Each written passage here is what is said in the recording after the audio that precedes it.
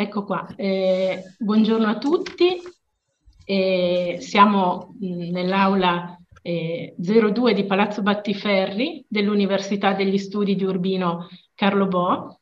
E siamo qua per presentare il volume di, eh, appena uscito di, del professor Niccolò Tarquini, che dimostro, eh, Eternità e Divenire, Emanuele Severino e la Metafisica Classica. Quindi un volume eh, molto importante di più di 400 pagine e dietro al quale ci sono anni di lavoro di questo giovane studioso. Giovane studioso che si è laureato all'Università di Perugia e, e, poi ha conseguito il dottorato di ricerca alla Pontificia Università Lateranense di Roma ed è stato seguito nel suo lavoro dal professor Leonardo Messinese.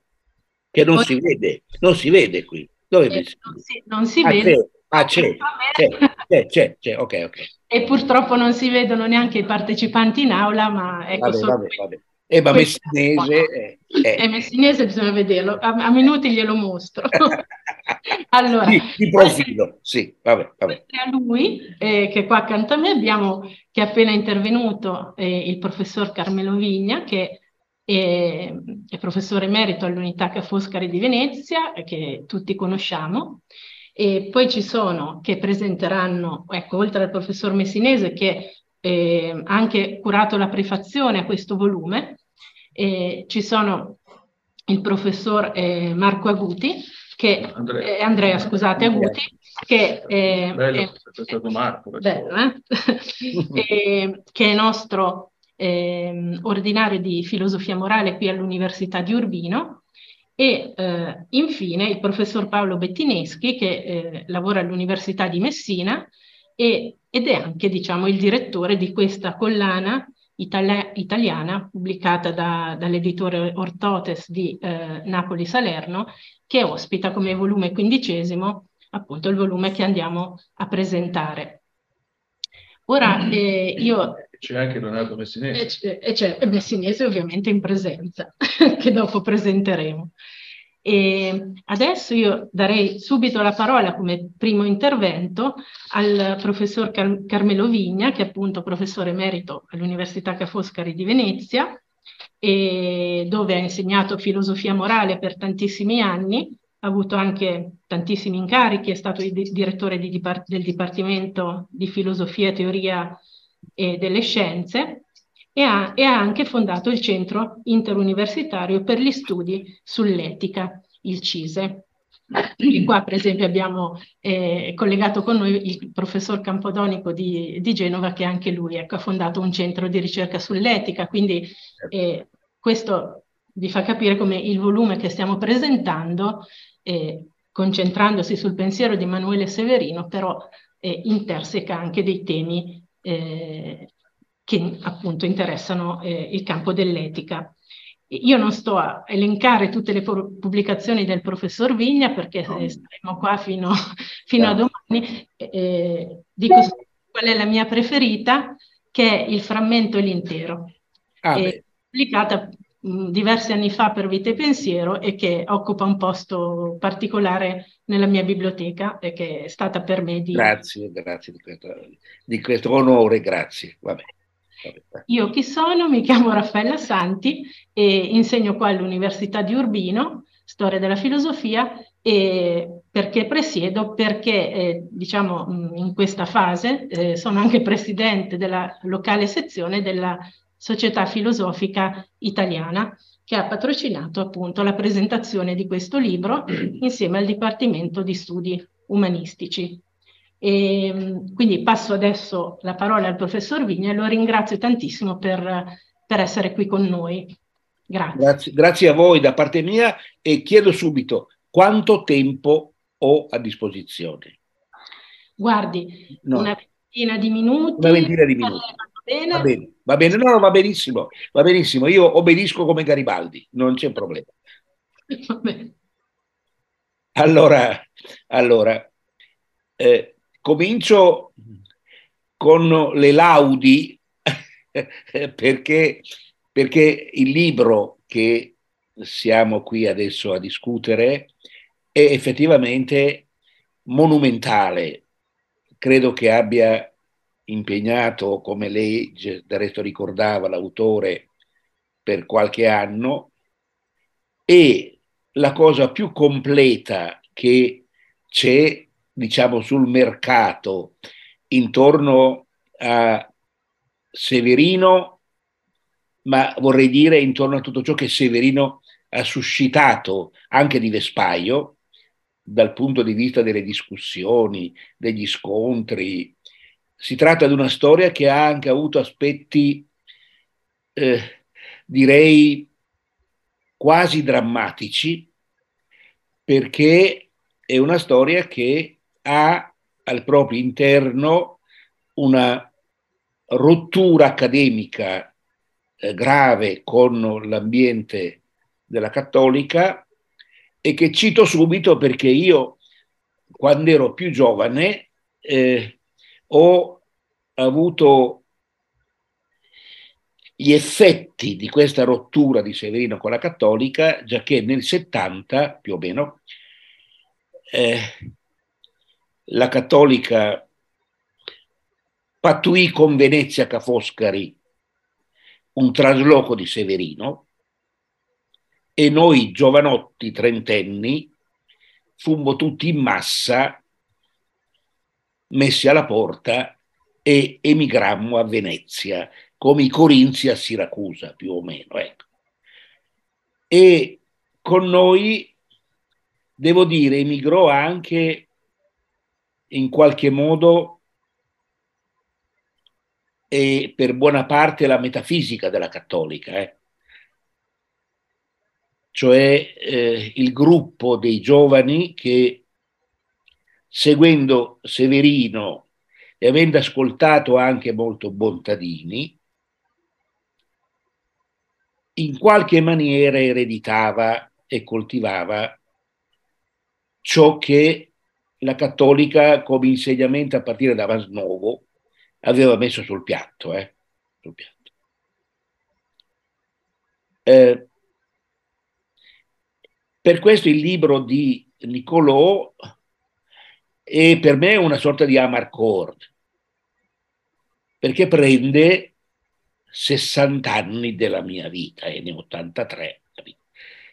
Cioè, io arrivato in cattolica nel 59, mi trovai in mano la struttura originale di Severino pubblicata l'anno prima e di cui già si discuteva animatamente, e poi subito dopo l'insegnamento di Severino, che allora era trentenne, io ero ventenne, la differenza è 11 anni, Severino è del 29 e del Novecento e io sono del 40, quindi è una generazione accademica di mezzo, che sono 10 anni in genere.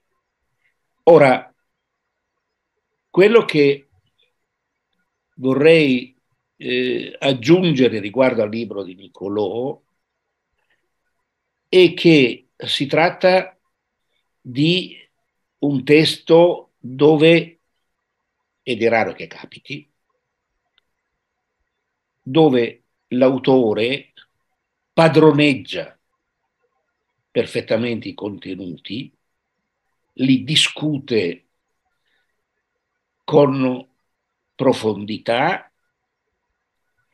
e questo se si pensa anche alla completezza dell'indagine che copre appunto praticamente quasi un secolo di, di discussione di metafisica, dico, dà l'idea della importanza di questo lavoro e della, devo dire della bravura di Niccolò Tarquini, con cui mi congratulo volentieri, le faccio, faccio volentieri i complimenti. Eh. Ecco. E adesso c'è all'orizzonte un nuovo metafisico e quando questo nasce io aggiungo in qualche maniera una striscia a tutta la sequenza dei metafisici italiani che hanno anche molti giovani bravissimi, tra cui appunto il Paolo Bettineschi che è qui presente, e non cito i più vecchi come come appunto il collega Messineo, che, beh, io sono vecchissimo, lui è più avanti con gli anni, ma è già un anziano. Ecco. La metafisica non è morta. Sono contento, ecco, perché diceva già il, un grosso filosofo a tutti noto e da tutti venerato, Hegel, la filosofia senza metafisica è un tempio praticamente vuoto. Eh. Ora, la metafisica di Severino e da Niccolò e anche dal suo maestro, dico così, eh, guida da, da Leonardo Messinese, la metafisica di Severino è considerata addirittura una ipermetafisica, cioè una metafisica che rispetto a quella tradizionale aggiunge delle avance niente meno che sull'eterno, dove di fatto si installa. Ecco, io dico subito che per educazione ricevuta sono venute su a pari da Aristotele praticamente per una vita, sono un po', un po' diffidente quando, dopo aver detto che il mondo dell'esperienza non è tutto, ci si mette dall'altra parte, come sulle spalle di Dio, per scrutare da quella parte il nostro mondo. Ecco, io oltre al venerare Aristotele, io e, e, Platone e Agostino, insomma i grandi classici, io naturalmente sono affezionato, come sanno tanti anche, ai testi di Tommaso, il quale diceva che ad essere rigorosi a un filosofo, di Dio non sappiamo assolutamente nulla. Penitus nickel, proprio, proprio non se ne parla neanche. Dire, dopo aver detto che c'è, è bene battere in ritirata. Eh, Severino è molto più audace su questo terreno. E anzi, a partire come è noto dal 64, col suo ritornare a Parmenide, che fece scalpore, anzi, si installò, come accennavo prima, dalla parte dell'Eterno perché difese la tesi audacissima che dice che ogni cosa che esiste, anche il filo d'erba, ogni cosa che esiste è eterna. Ora, una cosa così non l'ha detta effettivamente mai nessuno.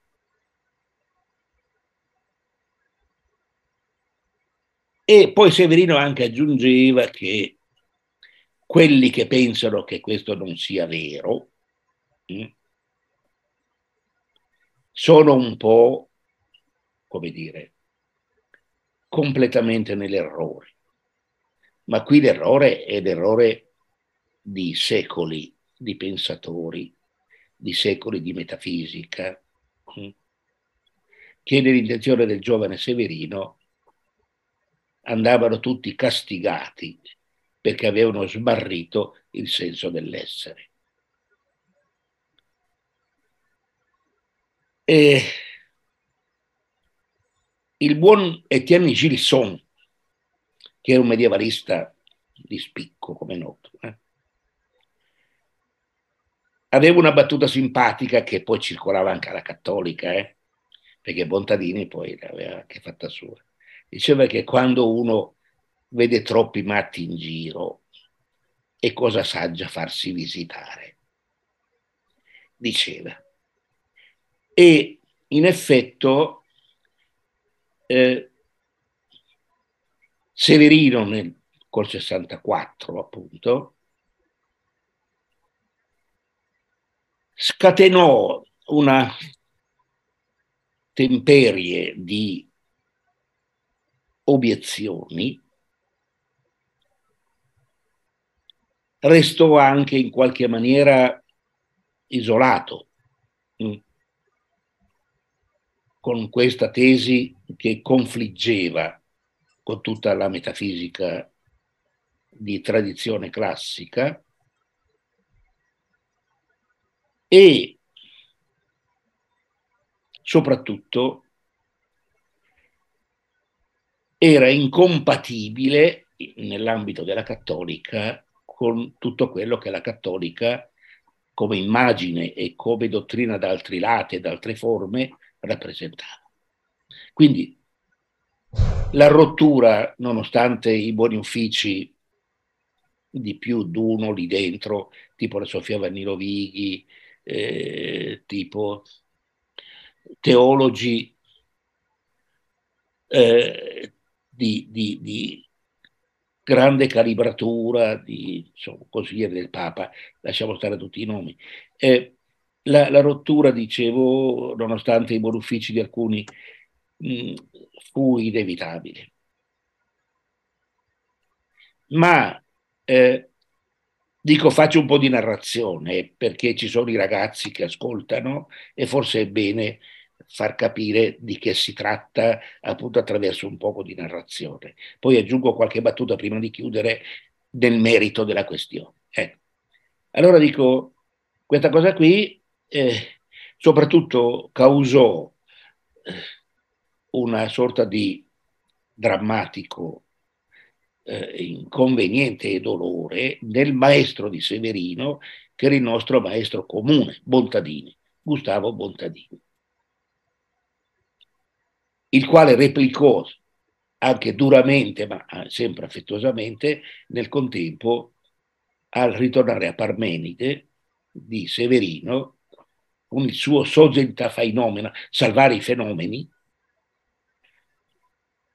replicò con allora una obiezione che cito, perché è una delle cose più importanti dette su, su Severino, cioè sull'eternità di ogni ente, ecco. una delle obiezioni che Severino tentò per anni di considerare e di togliere, a mio avviso, senza esserci mai riuscito. Cioè quella, quella obiezione di Montagnier di cui adesso dico l'essenziale era effettivamente imbattibile, perché osservò Bontadini subito a Severino che se tutto è eterno come dici tu, allora il mio attuale vedere Pingo Pallo, mm, io vedo Pingo Pallo, questo vedere Pingo Pallo è eterno, ma io non vedo sempre Pingo Pallo. Quindi almeno questa relazione intenzionale tramonta non nel senso che sparisce, se no io dovrei con- continuare a vedere Pinco Pallo, ma nel senso che non c'è più, che finisce. E il finito, come ama dire anche Paolo, qui presente, se è finito è destinato a finire. Non è che sia una roba sconcertante questa. Severino a partire da lì ha cominciato poi a costruire una nuova lettura del divenire, secondo cui appunto le cose che sembrano finire in realtà non finiscono, sono eterne, spariscono, vanno dietro l'orizzonte dell'apparire. Ma, ma questa cosa fa pugni col senso comune e col buon senso.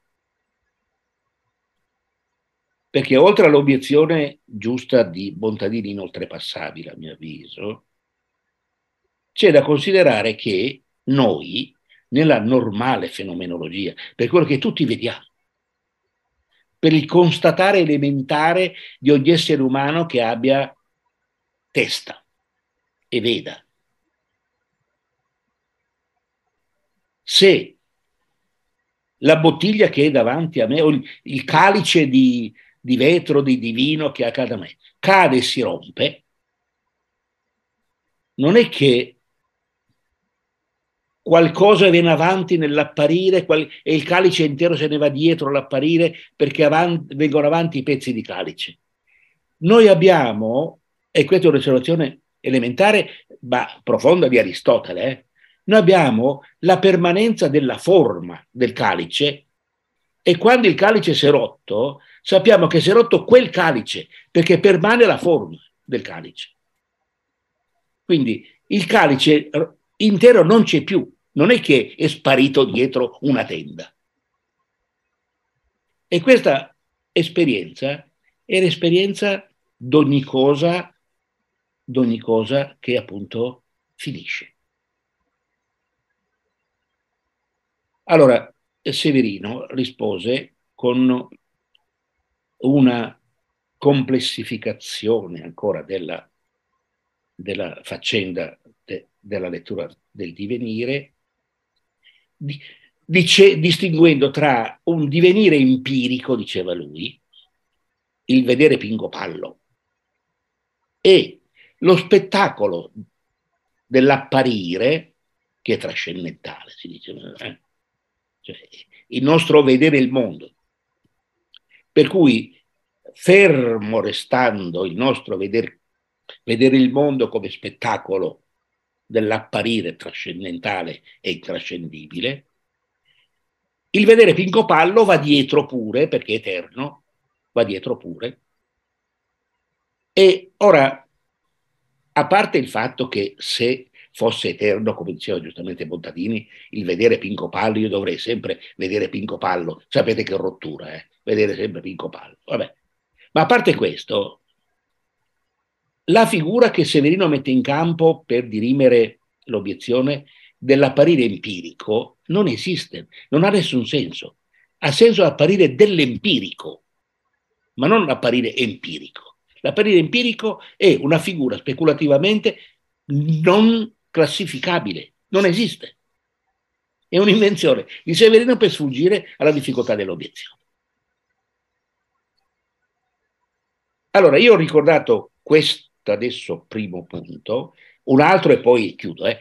Primo punto per dire che Bontadini aveva subito capito che quella cosa lì che l'allievo proponeva non era sostenibile. Anzi, era arrabbiato per il tono, eh, perché scrisse, risponde a, a Severino, scrisse eh, eh, Gesù Cristo è il verbo che si è fatto carne, tu sei la carne che si è fatta verbo. Ed era arrabbiato Severino, eh, eh Severino, scusa, Montadini, perché amava tantissimo Severino, si sono sempre voluti bene, eh, al, al, di là di tutto, ma vedeva eh, la propria eredità in qualche maniera ingestibile, nell'allievo più geniale che aveva avuto nella sua carriera accademica.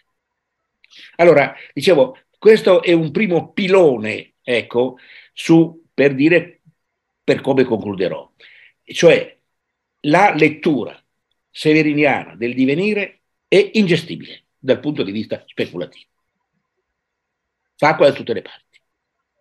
E poi è assolutamente al di fuori del senso comune. Vabbè.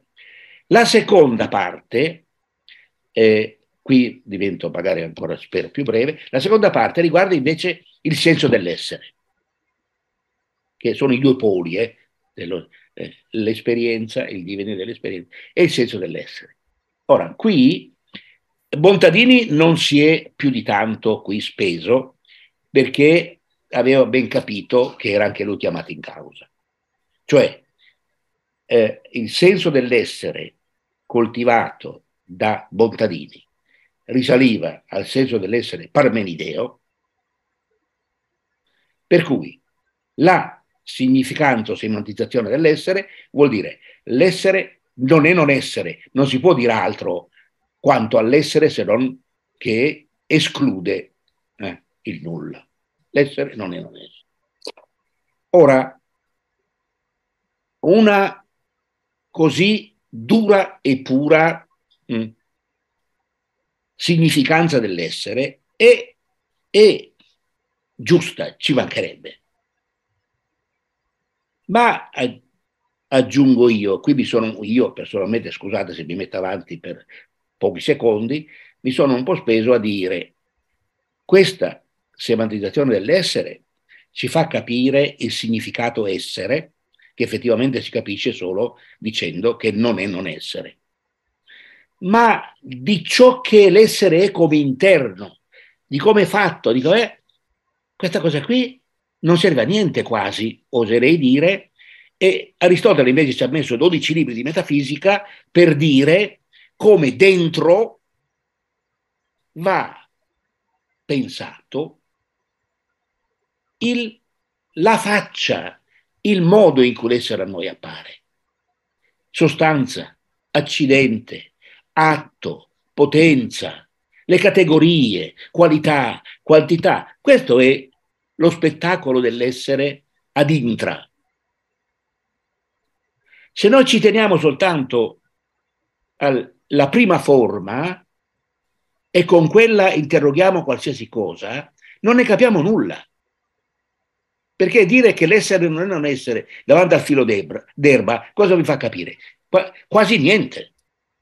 È quasi nulla. E Hegel nell'inizio della logica proprio diceva l'essere vuoto, eh, l'essere vuoto può va riempito. Eh. Allora, eh, e vedo di chiudere. La eh, impresa severiniana è legata a questi due punti estremi, eh, poi Bottadini li, li addirittura messi uno contro l'altro, non lasciamo stare questa parte qui, eh, ognuno di questi due punti è, ripeto l'aggettivo, ingestibile. Ingestibile. Perché dire che l'erba, il filo d'erba, è essere che non è non essere, è non dire niente del filo d'erba, o quasi, quasi niente. Quasi niente. Attribuire però in senso potente questo predicato il filo d'erba è essere, che non è non essere, e vuol dire fare del filo d'erba lo stesso che Dio, perché Dio è l'essere che non è non essere, nella metafisica tradizionale. Certo, allora tutto diventa eterno e sono, il filo d'erba è un pezzo di Dio, eh, un dito mignolo, che ne so io, di Dio, capito? Ora, e chiudo, questo tipo di impostazione metafisica non può essere semplicemente un prolungamento della metafisica tradizionale, non può essere un suo rinverdire il vecchio albero. E qui io mi ritraggo rispetto all'audacia di Niccolò e all'audacia di Leonardo, suo maestro, che con molta generosità, con grande intelligenza, vorrebbero in qualche maniera salvare un po' di Severino. Io dico, avete ragione se stiamo al Severino della struttura originaria, che era ancora all'interno della metafisica. Ok, ma il Severino di ritornare a Parmenide è proprio una roba da matti. Metterci dietro lavoro, intelligenza e genialità, a mio avviso e sprecare, e sprecare intelligenza. A mio avviso, sono qui con la conclusione drastica del vecchietto che, vabbè, il vecchietto dove lo metto, vabbè, ma, ma a mio avviso eh, io, come dire, eh, arruolerei ancora Severino per quanto lui fosse redentente alla leva, eh, arruolerei Severino nella metafisica come tradizione neoclassica ma fino alla struttura originaria e mettiamoci pure gli studi di filosofia della prassi. Ma poi dopo con ritornare a Parmenide, francamente, ha lasciato la casa del padre e è andato lontano a pascolare coi porci e a mangiare ghiande. E non è neanche il figlio prodigo che poi dice voglio tornare nella casa del padre. No, non ne voleva, sap- non ne voleva sapere, ma proprio, ma proprio niente, perché ha lottato in tutti i modi per sbarcarsi. E quella parte di Severino, lo dico con dolore, perché tanto è mio maestro, quella parte di Severino, a mio avviso, è una parte da lasciar cadere, non da battezzare. Sono stato un po' drastico, forse mi scuserete, ma io che apprezzo tantissimo Leonardo e anche Nicolò, dico da vecchietto, sì, onoriamo Severino, ma che tutto l'essere sia eterno, per carità di Dio. Solo pensare al dolore, ragazzi, pensare alla morte, come si fa a dire tutto è eterno? Al male, come si fa a dire che tutto è eterno? E vuol dire che dall'inferno uno non cava più piede, eh? E questo è un messaggio che alla gente non si può dare da metafisici. Grazie. Grazie.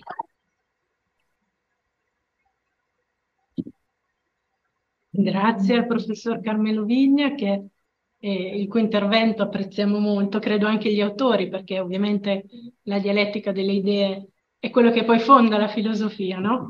E, che, e quindi ci piace moltissimo. Bella anche eh, l'inizio in cui ci ha fatto rivivere gli anni eh, della cattolica. Sì. Esatto. Eh, gli anni 60, gli anni 60 e 70.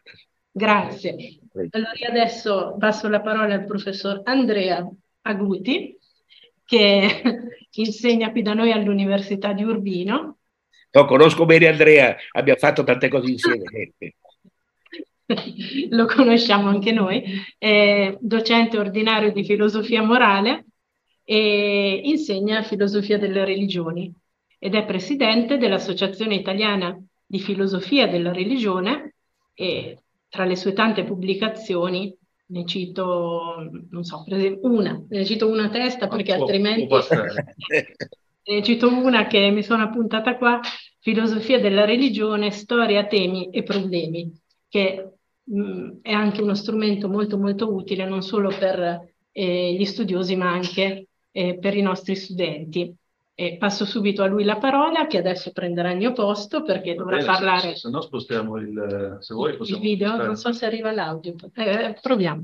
Poi, credo che ci si riesca. Così saluto tutti. Sì, sì. Poi così vedete anche, anche molti amici, colleghi che sono, che sono collegati eh, e naturalmente tutti i, i presenti.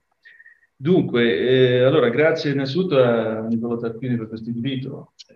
E mi ha messo un po' in imbarazzo perché io gli ho detto subito che eh, di Severino io so poco. E, poi gli ho detto anche un'altra cosa, eh, che non solo so poco di Severino, ma che il pensiero di Severino non mi rimane neanche molto simpatico e i motivi li ha per suo espressi eh, Carmelo Vigna appunto nella, nella conclusione.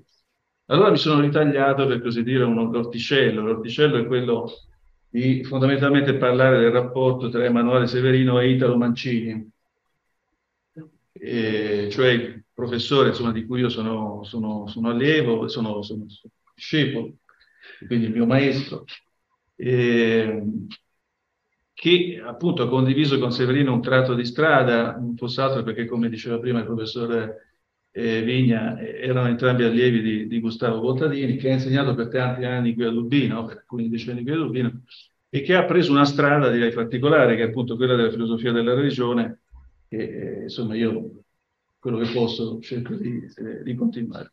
Allora, siccome il professor il, Niccolo Tarquini dedica alcune pagine sua, nel suo volume appunto alla ricostruzione del dibattito tra Mancini e Severino, dirò qualcosa su, su di lui, e quindi non sto a dire quanto è bello questo libro, quanto è interessante questo libro, quanto è profondo questo libro, perché sono tutte cose che condivido e, e sappiamo.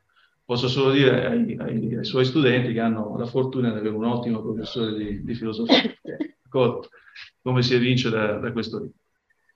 Allora, inizio anch'io da, da, che cosa? Da un aneddoto personale, credo di averlo già raccontato sicuramente a Leonardo Messinese e forse a qualcun altro, ma e un aneddoto che risale al 1990 o forse 91, ho un dubbio diciamo sull'anno, ma insomma io ero, eh, se è il 90 ero laureando con Italo Mancini, se era il 91 mi ero appena laureato, e Italo Mancini doveva andare ad un convegno, partecipare ad un convegno a Napoli, eh, presso l'Istituto Sorozzo da Casa, che allora era molto, era molto attivo, però non era così deciso ad andare.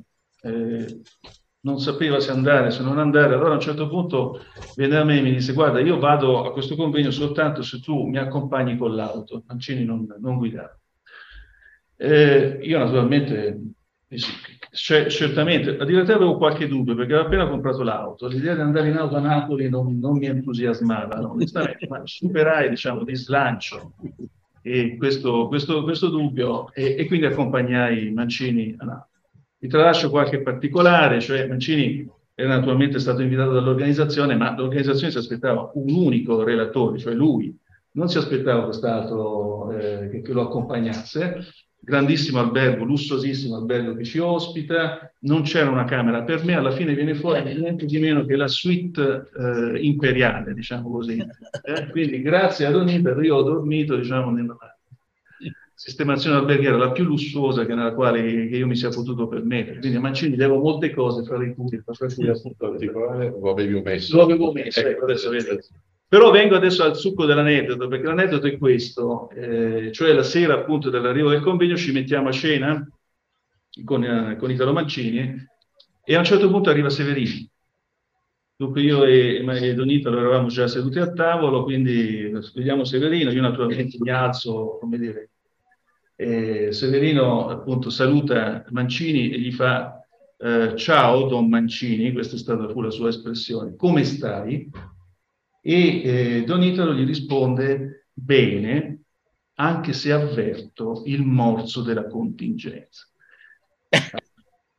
Eh, allora, eh, diciamo, io ero giovane, insomma, neanche troppo sveglio, adesso sono diventato vecchio e, e non, sono, non, sono, particolarmente sveglio neanche adesso, però, insomma, allora capì e non capì, poi ci ho ripensato e ho capito bene, ma insomma, quanta ironia era appunto in questa risposta di Mancini, che dice fondamentalmente l'essenziale della, eh, diciamo così, distinzione tra, tra, tra, Mancini e Severino, perché appunto Mancini ammette la contingenza, cioè essere, non essere, diciamo così, è la commistione tra essere e non essere. Severino no, infatti Severino non replicò, sorrise, però andò a sedersi ad un altro tavolo. Naturalmente io rimasi molto deluso perché mi aspettavo una, una scena epica, diciamo, in cui avrei potuto assistere a una discussione, una gigantomatia sull'essere, e chiese a Mancini ma perché Severino se n'è andato all'altro tavolo? E allora Mancini mi disse, beh sai, lui è Severino. E, e diciamo, accompagnò questa affermazione con un gesto della mano, faceva così, come per dire, lui non si confonde con noi poveri mortali. Allora, di questo episodio, che per me appunto è stato sempre, diciamo, significativo, è stato sempre significativo, poi ho ripensato, ripensato ultimamente quando ho voluto riflettere un po' sul tema di oggi. Adesso, messo da parte l'aneddoto, poi alla fine del, del, mio, del, mio, discorso ne richiamerò un altro, però indirettamente. Vengo a dire qualcosa di serio, eh? o almeno ci provo. Eh, in realtà il confronto tra Mancini e Severino è molto limitato eh, ed è limitato, direi così, a, per quanto riguarda Mancini, quattro pagine che si trovano nella filosofia della religione, cioè l'opera che Mancini ha pubblicato nel 1968 in prima edizione. Verso la fine, nella, nella prima edizione del, del, testo di Mancini si trattava proprio del penultimo paragrafo.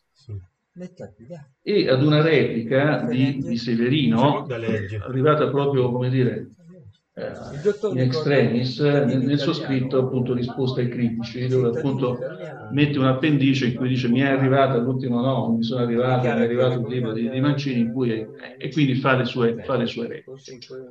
Quindi abbiamo fondamentalmente quattro pagine da parte di Mancini con una breve aggiunta poi in un altro testo che è Teologia, Ideologia, Utopia del 74, sono tutti i riferimenti che eh, Tarquini ha ben messo nel, nel suo testo e per quanto mi risulti no, non ci sono state invece altre repliche da parte di Severino, oltre a quella appunto nel suo scritto di risposte critici.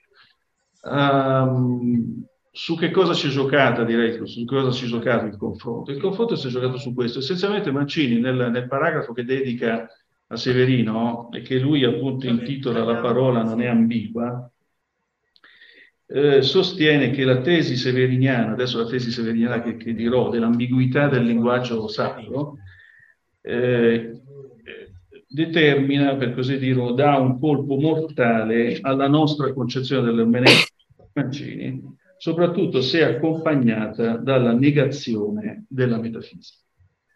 Allora, mi concentro su questo, su questo, passaggio, quindi su questi due punti. In realtà c'è un'altra, c'è una terza obiezione, eh, riferita a Marcuse, il ruolo del negativo. Quella la lascio da parte perché non ho tempo per lei, secondo me anche, anche meno interessante.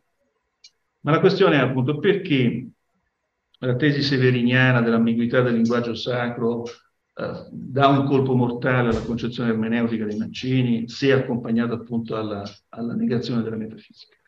Allora, la tesi di Severino in, in soldoni è questa, il linguaggio, il linguaggio, del sacro, il linguaggio religioso è costitutivamente ambiguo, il che significa che eh, può essere, eh, deve essere decriptato, diciamo così, decifrato, e lo può essere eh, in due sensi. Se il linguaggio del sacro prende quello che Severino chiama il sentiero della notte, cioè il sentiero della metafisica, ovvero del nichilismo, allora il linguaggio del sacro, ovvero il linguaggio religioso, è assurdità, non senso. Se invece prende il linguaggio appunto del, prende il sentiero del giorno, cioè prende il sentiero della verità dell'essere, allora il linguaggio sacro eh, diventa un problema. No? Cioè diventa qualcosa, diciamo così, che, che, che, che, ha senso, anche se ha un senso, ancora una volta, da, da, da decifrare.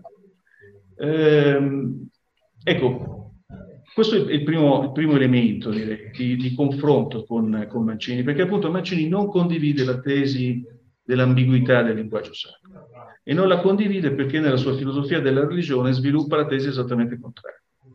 Eh, filosofia della religione di Mancini è fortemente dipendente dalla eh, teologia di, di Karl Barth, questo grande teologo protestante, e nel, nel primo tomo dei, della, della, dei prolegomeni della, della dogmatica ecclesiale, Barth sviluppa una teoria, diciamo così, della parola di Dio, eh? enuncia una serie di proprietà, di attributi, vado al Wort Gottes, e fra questi attributi c'è appunto quello che Barth chiama della Geistigkeit, cioè eh, della intellettualità o della spiritualità della, della, parola. Che cosa significa?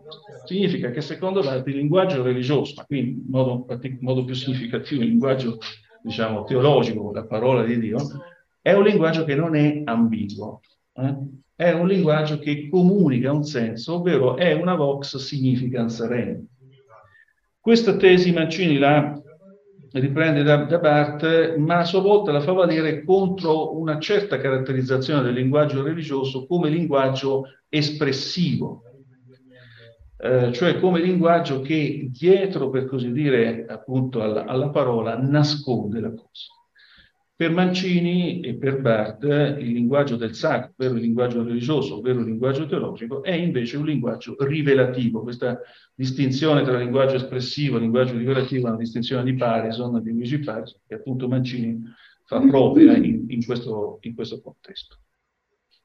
E questo consente a Mancini di, eh, diciamo così, costruire il modello della sua filosofia della religione, che è un po' un modello appunto che assomiglia a Ulisse, per cui abbiamo due fuochi, da una parte appunto c'è eh, la parola di Dio e il suo riconoscimento storico, che appunto eh, fondamentalmente è la fede, è quello che possiamo chiamare, che possiamo chiamare fede, e, e dall'altra appunto c'è quella che Mancini chiama la precomprensione dottrinale o schema di possibilità metafisico, che appunto connette questi due elementi, cioè da una parte appunto abbiamo la fede, che si relaziona, per così dire, alla parola di Dio, ovvero al linguaggio religioso, ed esprime appunto la forma del riconoscimento storico, del senso che questa parola veicola, e però appunto questo, questo, questo elemento non può essere nella filosofia della religione appunto eh, unico, adesso deve accompagnarsi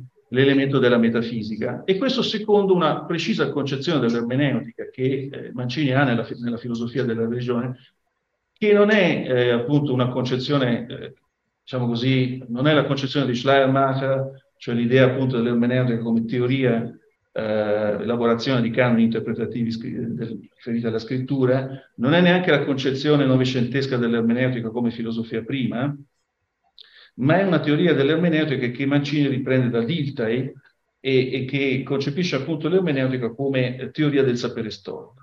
Allora, l'ermeneutica per Mancini è essenzialmente, come lui dice, un, un uh, capire, un verstehen pareggiato da una precomprensione. Allora, il capire nella sua filosofia della religione è essenzialmente appunto l'intendere la parola di Dio, e riconoscerla, il, la precomprensione è appunto metafisica.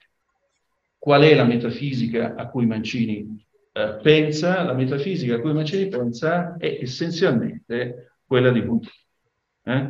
Nella filosofia della, della, della religione Mancini eh, sviluppa, direi così, un argomento metafisico, un unico argomento metafisico, che è appunto l'argomento metafisico che Gustavo Montadini ha presentato, aveva presentato in uno scritto di qualche anno prima, ho detto che la filosofia della regione di Mancini, appunto, prima edizione nel 68, ebbene, eh, Mancini nel, nel, suo libro si riferisce appunto a Bontadini e in particolare al, allo scritto di Bontadini sull'aspetto dialettico della dimostrazione dell'esistenza di Dio, 1965, dove già Bontadini integra alcuni elementi, eh, per così dire, che gli venivano dal, dal confronto con, con, Severino, e l'argomento di Montadini, su cui adesso non, intendo assolutamente soffermarmi, ma che comunque, direi così, risulta dalla combinazione, a mio modo di vedere problematica, tra il principio di Parmenide e il cosiddetto principio di creazione. Questo è appunto poi il titolo anche del, del capitolo che Mancini dedica a, a appunto questa, questa parte della sua filosofia della religione. Dicevo, questo argomento comunque chiarisce molto chiaramente, chiarisce in modo molto evidente qual è il significato di, di, metafisica, cioè fondamentalmente per Mancini, così come per Bottadini, metafisica significa eh, trascendimento del mondo dell'esperienza in direzione dell'affermazione di una realtà eh, assoluta. E quindi quel significato di metafisica a cui appunto prima Carmelo eh, accennava diciamo così, fuori metafora, è l'argomento che consente o consentirebbe eh, l'affermazione dell'esistenza di Dio, cioè di quello che nel linguaggio religioso noi chiamiamo Dio, ma che nel linguaggio filosofico possiamo benissimo chiamare assoluto, causa prima, atto puro, quello che, o quello, o quello che vogliamo. Quindi il significato di metafisica è un significato, almeno in questo contesto per Mancini, eh, molto affine direi a quello di teologia razionale o di teologia naturale, cioè eh, metafisica significa il complesso, direi così, di argomenti, ma qui, ripeto, un unico argomento considerato, almeno da Bontadini, incontrovertibile, quindi migliore di altri argomenti che è possibile, è possibile trovare o formulare, che consente appunto l'affermazione della, eh, di un essere tra, trascendente.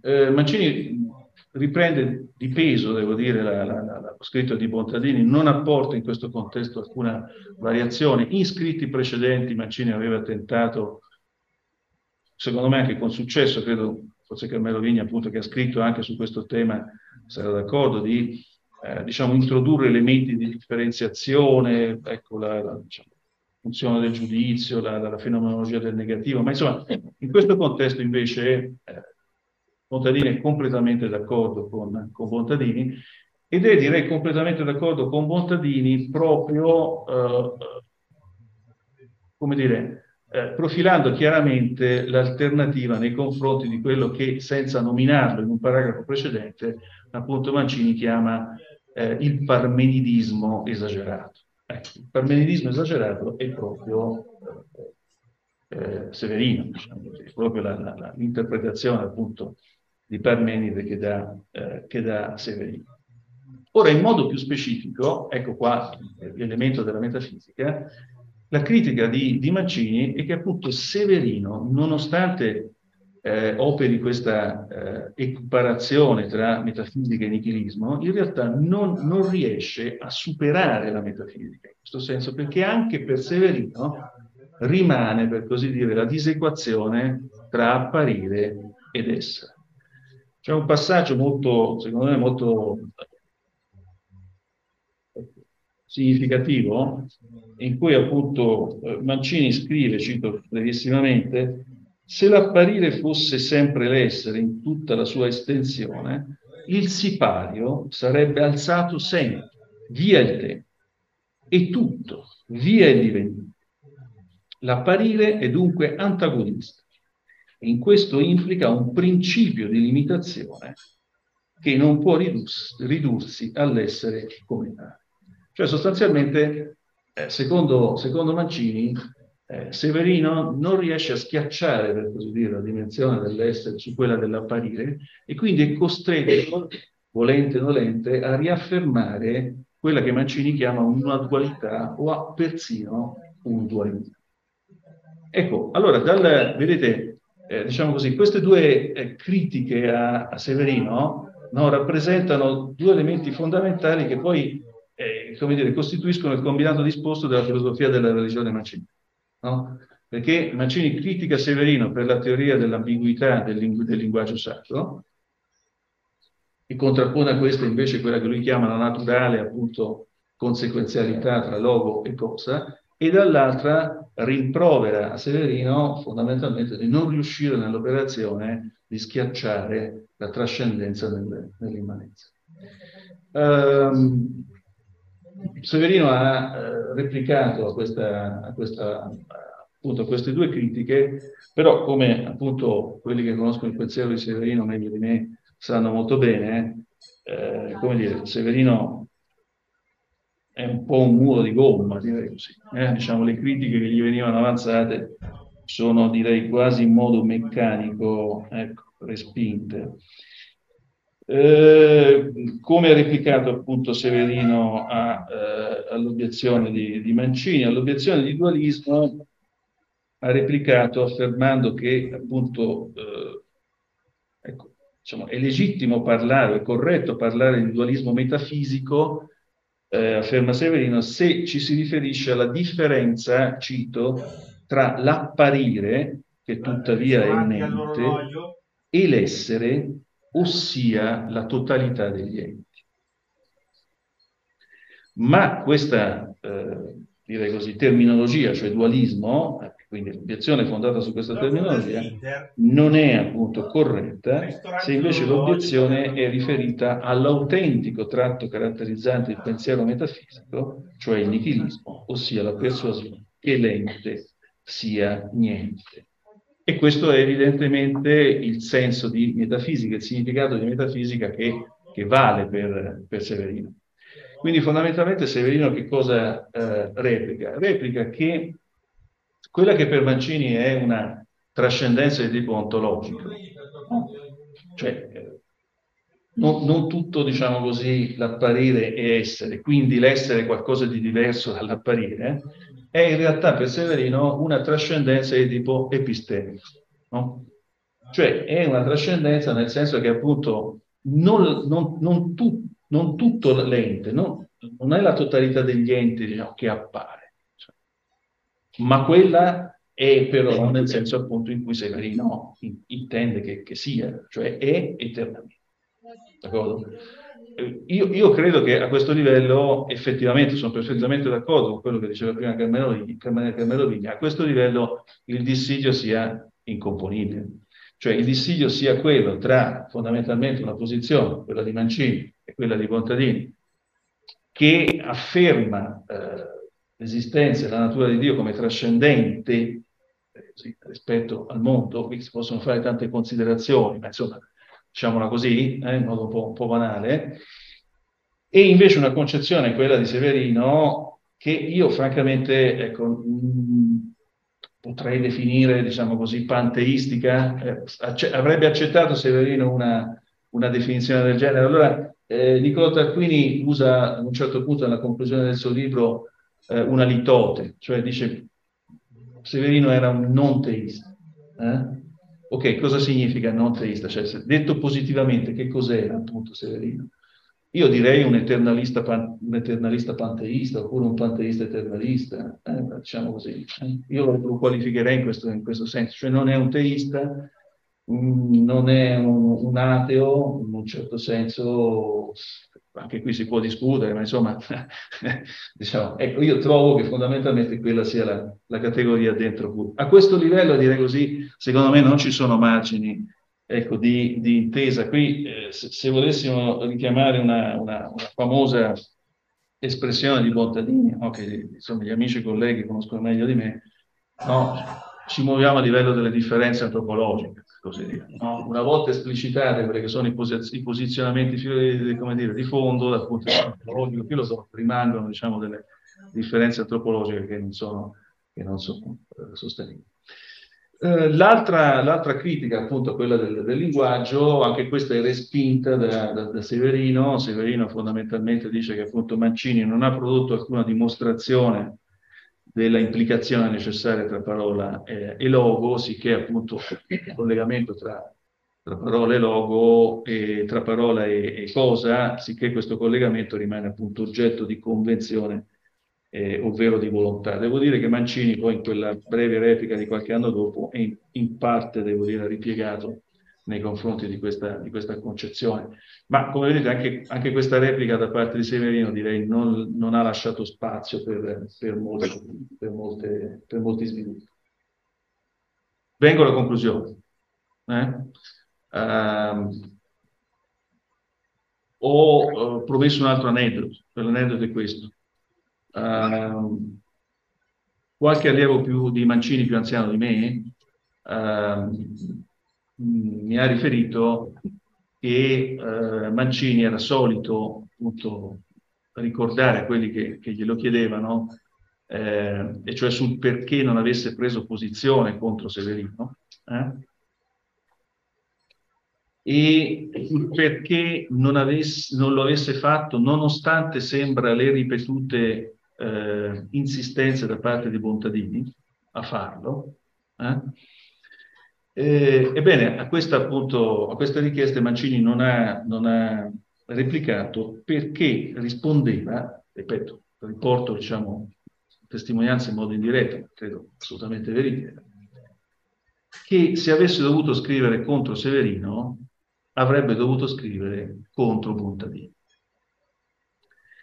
Allora, se questa testimonianza fosse vera, devo dire che noi troveremmo un elemento di comunanza tra eh, Italo Mancini e Cornelio Fabro. Difficile trovarne. Eh?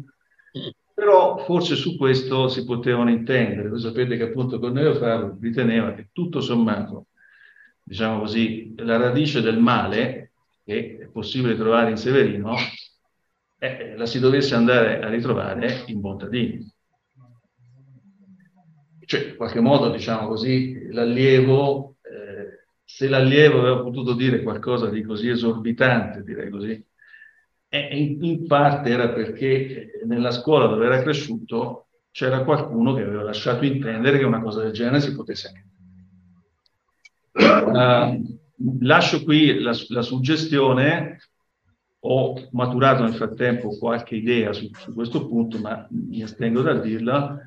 Uh, propongo invece qui una, una, lettura alternativa, cioè perché Mancini non, è, eh, non ha diciamo, preso posizione contro Severino.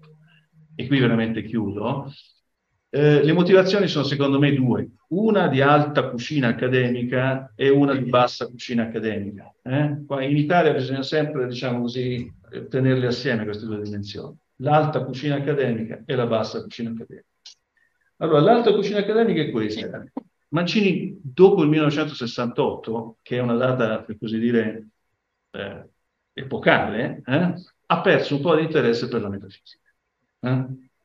Questo è abbastanza chiaro, diciamo così, sua, nel suo percorso successivo, diciamo, il riferimento alla metafisica che si va sempre più tenue, eh?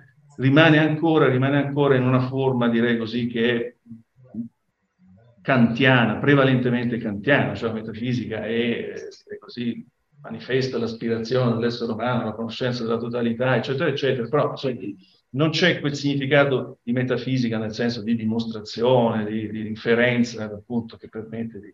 Eh? E quindi io credo che fondamentalmente il fatto che Mancini non abbia replicato, direi non abbiano continuato in questa lunga polemica, appunto, che è arrivata fino a noi, arriva fino a noi, sia dipeso fondamentalmente da Ma motivazione, la motivazione, questa è la motivazione di alta cucina accademica, la motivazione di bassa cucina accademica è invece un'altra. Eh? E che Mancini, e questo lo dico perché in occasione, in questa occasione, diciamo, previsione di questo incontro, sono andato a, a leggere una parte dell'epistolario di Mancini, che noi conserviamo per l'Urbino. Ci sono anche alcune missive tra Severino e Mancini, sono missive molto, molto brevi, non hanno un grande interesse teoretico, ma hanno un grande interesse per quanto riguarda le questioni concorsuali. Eh? E, e, allora, diciamo, seconda metà degli anni 60, primi anni 70, Mancini era sotto concorso e Severino no, e Severino era in quelli che dovevano giudicare. E allora eh, in alcune lettere Mancini chiedeva, diciamo così, in qualche modo un appoggio, un sostegno, e io mi permetto qui, con la malignità diciamo, che è tipica di noi toscani, di sostenere diciamo così, che appunto accanto alle altre motivazioni accademiche ce ne fosse anche qualcuna meno alta, ma appunto ugualmente importante, certamente. Però su questo e sul resto, ecco, eh, mi rimetto diciamo, all'opinione soprattutto del professor Vigna, che sia di alte che di basse questioni accademiche si, si, si intende molto. Eh? E ringrazio ancora. Arrivederci.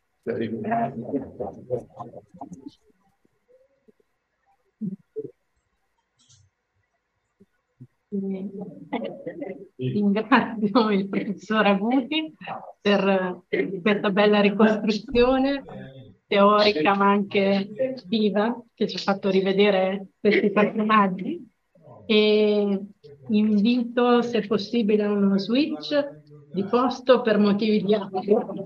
Eh? Vogliamo far intervenire Bettunesi? Allora, eh, se il professor Bettineschi, eccolo lì, lo vedo, è collegato. Allora io darei a lui la parola. Eh, il professor Bettineschi, eh, intanto lo ringraziamo ecco, per essere qua, seppur da remoto, eh, ed è proprio il direttore della collana che appunto ospita il testo di cui stiamo discutendo di Niccolò Tarquini. E vorrei, ecco, insegna all'Università di Messina, anche lui è autore di tantissime cose, e, è professore ordinario di filosofia teoretica. E, ecco, se potesse anche lui dire qualcosa sia sul testo, ma anche qualche parola sulla collana, perché è una bellissima collana eh, di filosofia italiana eh, una delle poche, credo, che abbiamo, no? perché eh, noi italiani abbiamo un po' questo vizio a volte che valorizziamo no? tante cose anche in filosofia, eh, autori, eh, teorie, linee di pensiero, no? magari ehm, importantissime, mm, europee, extraeuropee, e poi a volte invece ehm, tralasciamo ecco, di occuparci della, della filosofia italiana che invece ha una valenza enorme, e questo lo dico ecco, da storica della filosofia. Quindi adesso passo a lui la parola e lo ringrazio. Grazie, grazie, ma grazie a voi grazie mm, agli colleghi e agli amici che hanno, che hanno già parlato. Io mi aspettavo, mh, mm, per la verità, di parlare per ultimo, ecco, eh, che è una cosa scomoda ma anche appetibile, perché eh, ricordiamoci che eh, Platone fa parlare Socrate per ultimo nel simposio, ma in maniera tale che così eh, Socrate abbia la parola conclusiva. Allora io vengo adesso un po' prima, ma userò di quelle poche cose che eh, mi propongo di dire, eh, alla fine anche per fare qualche domanda, per rivolgere qualche domanda ehm, rispetto alle quali mi sarebbe piaciuto sentire, mi piacerebbe sentire le risposte che mh, mm, sia Niccolò Tarquin e eh, Leonardo Messinese avranno voglia di dare a queste mie osservazioni. Ehm, subito dopo i ringraziamenti, eh, fate anche a me mettere anzitutto eh, davanti a chi ci ascolta l'elogio per quest'opera ehm, che ci troviamo in qualche modo a presentare e a commentare oggi. Io penso seriamente che questo libro di Niccolò Tarquini eh, sarà un libro che eh, rimarrà, cioè entrerà sicuramente a far parte come un'opera imprescindibile per gli studi che riguardano e eh, la storia della filosofia italiana eh, degli ultimi cent'anni, quindi di tutto il Novecento e anche degli anni 10-20 eh, del nuovo millennio, e anche ovviamente un'opera che eh, non potrà essere tralasciata da chi vorrà occuparsi in maniera seria e fondamentale di questioni di metafisica e di ontologia fondamentale. eh, sia per chi viene direttamente, appartiene direttamente alla tradizione classica o neoclassica eh, della riflessione metafisica, ma anche per chi, eh, avendo alle spalle una tradizione eh, meno lunga e forse anche meno venerabile, eh, vorrà cominciare a eh, occuparsi di queste tematiche per avere, attraverso le pagine che il libro di Nicolò ci presenta, una ricostruzione davvero eh, fuori dall'ordinario, per perizia, per precisione, devo dire anche per completezza, e poi anche per acume teoretico, che viene dimostrato, eh, devo dire, dall'inizio alla fine dell'opera. Questo lo dico eh, da amico di Niccolò Tarquini e anche nelle vesti che sono state ricordate in qualche modo, quindi di mm, responsabile di questa collana che si prese e si onora adesso di ospitare anche quest'opera nello spazio tutto sommato eh, limitato che abbiamo a disposizione, però vorrei usare di questo tempo ehm, per rendere omaggio a quell'acume teoretico che eh, nelle pagine di Nicolò si trova e che, eh, come diceva prima il professore Avuti, eh, fanno fortunati i suoi studenti per la possibilità che hanno di avere un maestro, un docente eh, di questo calibro. Allora, non ripeterò mh, mm, cose che anche eh, io sottoscrivo e che ehm, sono state mh, mm, dette da chi eh, mi ha preceduto mh, mm, la parola, me soprattutto prima. Um, mi prenderò ecco, la libertà, un po' col privilegio, di um, eh, riprendere alcune delle obiezioni che Niccolò Tarquini mh, eh, muove alle mie modeste, eh, a loro volta, obiezioni al pensiero eh, severiniano e al tentativo che anche può essere fatto di usare, diciamo così, la seconda parte della speculazione severiniana per fondare in maniera rigorosa una metafisica di tipo teologico o trascendente. Eh, nella generosità eh, storica e interpretativa dell'autore di questo libro, in qualche maniera anche le mie eh, modeste osservazioni sono eh, filologicamente riprese in maniera impeccabile. Ma l'acume teoretico a cui facevo prima riferimento di Nicolò ehm, non si limita ovviamente a ricostruire l'obiezione, prova, e qui è la parte forse più eh, interessante, succolenta, quella che desta maggiore attenzione nel volume, prova anche a dire la sua in proposito a mh, buona parte delle obiezioni che vengono rivolte direttamente a Severino, in qualche maniera anche alla proposta eh, filosofica di Messinese. Ecco, se mh, per il momento ci limitiamo solo a Severino, mh, Nicolò eh, perfettamente eh, dice che le mie maggiori perplessità eh, si concentrano eh, attorno a quella che è eh, la natura, diciamo così, della determinatezza in quanto determinatezza, di ogni cosa che diciamo essere determinata in quanto determinata. Da un punto di vista mio, ma non solo mio, il determinato è qualcosa di finito, e la cosa finita, eh, per necessità analitica, è qualcosa che finisce, ha un inizio e ha una fine. Ora, questo tipo di eh, rilievo ehm, da sé solo a me sembrerebbe sufficiente a eh, mettere in crisi ehm, la parte post 64 della riflessione severiniana. L'osservazione che Nicolò, eh, l'osservazione critica che Nicolò muove a questi miei rilievi e invece consiste, se dico bene, nel dire, nel richiamare, come dire, l'attenzione a non sovrapporre due significati differenti eh, dell'essere determinato o dell'essere finito.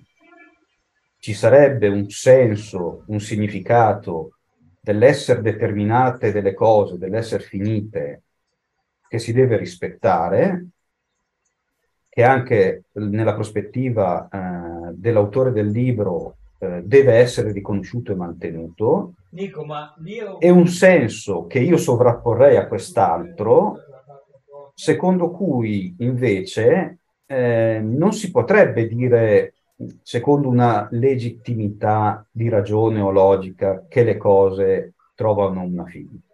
Il senso legittimo sarebbe quello di una limitatezza, diciamo così, perché anche Nicolò usa di questa metafora spaziale, per cui in senso spaziale le cose hanno dei limiti, hanno un inizio, hanno una fine, hanno quindi una determinatezza che le individua finitamente, e questo dovrebbe essere mantenuto. Invece, dice Nicolò, in senso temporale, questo tipo di determinatezza, questo tipo di finitezza, eh, sarebbe tutto da discutere. Perché se assumiamo un, eh, la parte del discorso severiniano post ritornare a Parmenide, post 64, non si potrebbe dire più, secondo ragione, che le cose determinate e finite trovano una fine anche in senso temporale. Qualora trovasse una fine anche in senso temporale, mi pare di cogliere così l'obiezione di Nicolò, e non potrebbero più essere considerate tutte le cose delle cose eterne. Se le cose determinate, a cui pure, secondo l'obiezione, si può riconoscere una finitezza spaziale, trovassero una finitezza anche in senso temporale, il pan-eternalismo severiniano, l'idea che tutto è eterno, che ogni ente è eterno, eh, troverebbe una contraddizione esplicita e allora delle due l'una, o sta in piedi il paneternalismo, o sta in piedi l'eternità riferita a tutte le cose, oppure sta in piedi e rimane come cosa da sottoscrivere, da riconoscere, una finitezza delle cose che assume una valenza e un significato anche temporale. Allora, l'invito critico di Niccolò è eh, distinguiamo fra eh, finitezza e finitezza, distinguiamo fra non essere e non essere, fra alterità e alterità. Questo tipo di distinzione, eh, secondo lui, se ben intendo, ci consentirebbe di dire che con Severino, ogni cosa è e non può non essere. Nonostante una determinatezza che la fenomenologia immediata delle cose ci presenta, per cui io distingo la bottiglia dal bicchiere, Andrea Guti da Leonardo Massinese, me da te, il tavolo dalla sedia, eccetera, eccetera, eccetera la distinzione dovrebbe essere mantenuta, ma non si potrebbe dire che questo tipo di determinatezza che ci fa differenti gli uni dagli altri, quindi che fa di noi ognuno l'altro dell'altro, è qualcosa che implica anche la nostra finitezza temporale. Ecco, qui si eh, trovano le mie eh, maggiori eh, perplessità, o per dirla fuori dalla lingua, insomma, eh, qui devo dire ancora che ho qualcosa da, da, da obiettare a questo tipo di rilievo eh, eh, critico eh, di Niccolò Tarquini. E perché rimangono perplessità? Perché mantengo eh, salda la mia obiezione?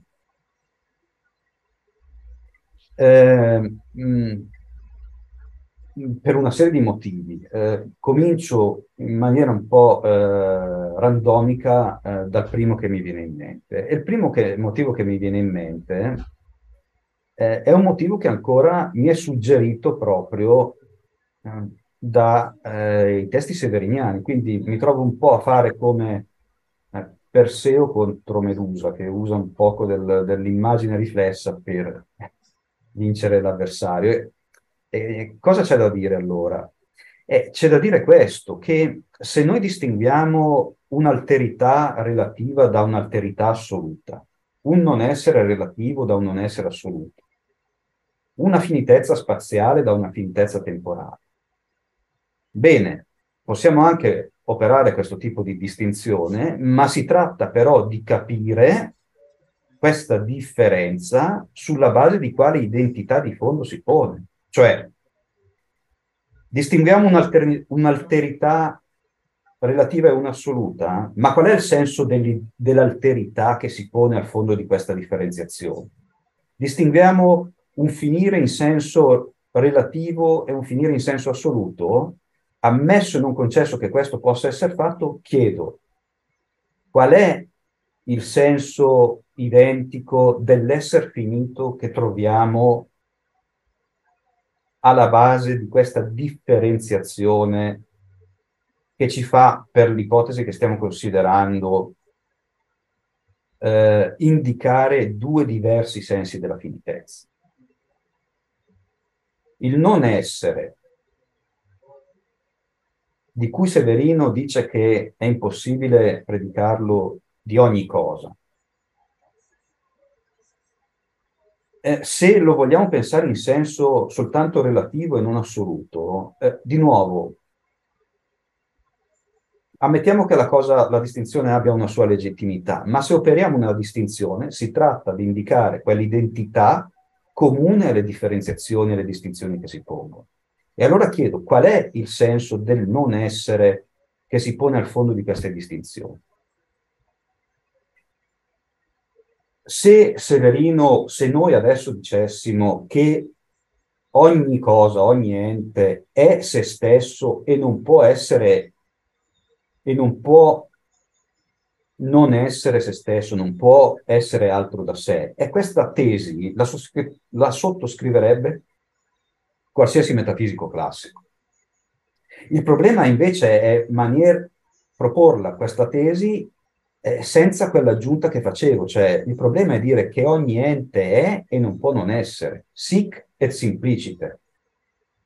La prima versione della cosa è la versione aristotelica, è la versione aristotelica che nel libro quarto della metafisica insegna che le cose sono incontradittorie in quanto sono se stesse e non sono altro da quello che loro stesse sono. Ma nell'essere sé delle cose determinate che ci troviamo di fronte, noi troviamo il limite, noi troviamo la finitezza. E questo limite, questa finitezza, questo non essere, bene, è spaziale per le cose che diciamo spaziali, è temporale per le cose che diciamo temporali. Se vogliamo farci suggestionare dalla, dalla fisica eh, einsteiniana del Novecento, potremmo cogliere l'invito e pensare tutte le cose in termini tetra o quadridimensionali. Le cose stanno nello spazio-tempo. Mm.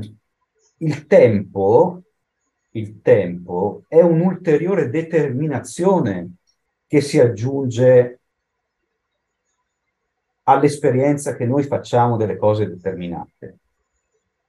Per cui determinate la bottiglia nei confronti del bicchiere che è altro da lei, determinato è il professor Aguti in confronto al professor Messinese, che è altro da lui, ma determinato è anche eh, la mia infanzia la mia, rispetto alla mia maturità, l'estate del 93 rispetto a quella del 2023.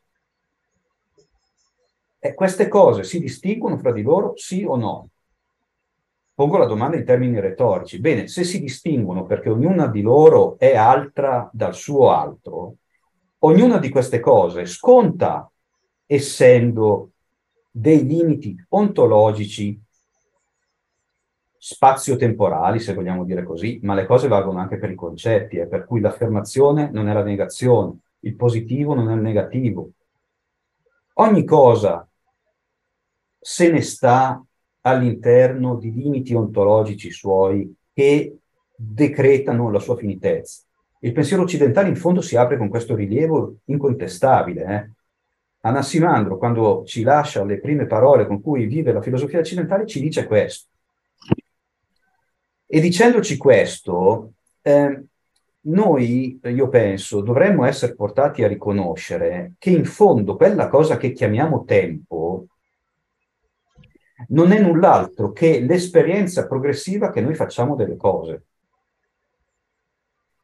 Ma le cose di cui facciamo esperienza ci appaiono in forma determinata, cioè ci appaiono secondo l'essere loro, secondo la determinatezza che è loro propria. E le cose di cui facciamo esperienza in termini progressivi appaiono determinatamente, ossia finitamente. Cioè il loro apparire è un apparire finito. E allora il tempo cos'è? Il tempo, inteso come esperienza progressiva delle cose che appaiono secondo la loro determinatezza e quindi secondo la loro, deter- la, secondo la loro finitezza, il tempo non è nient'altro che l'apparire finito delle cose finite. Eh, riprendo que- in questo senso quello che ci ricordava eh, Carmelo Vigna prima e che stava anche nella parte più forte dell'obiezione che da metafisico classico Bontadini, ancora alla fine del, della sua età, dei suoi giorni, muoveva a Severino. E questa cosa, curiosamente, eh, balena come un'illuminazione, a me pare, anche in, alcune, in alcuni passaggi eh, brevi, ma eh, che non si possono tralasciare, eh, delle pagine severiniane del 2015. Mi riferisco a un passaggio di Diche che cito quasi eh, alla lettera, ma è importante ricordarlo in questo contesto, quindi datemi ancora eh, un attimo. Eh, dice Severino, siamo all'interno di quel testo su, pubblicato per Adelphi nel 2015 che si chiama Diche. Dice Severino che ogni essente non può essere in ogni tempo,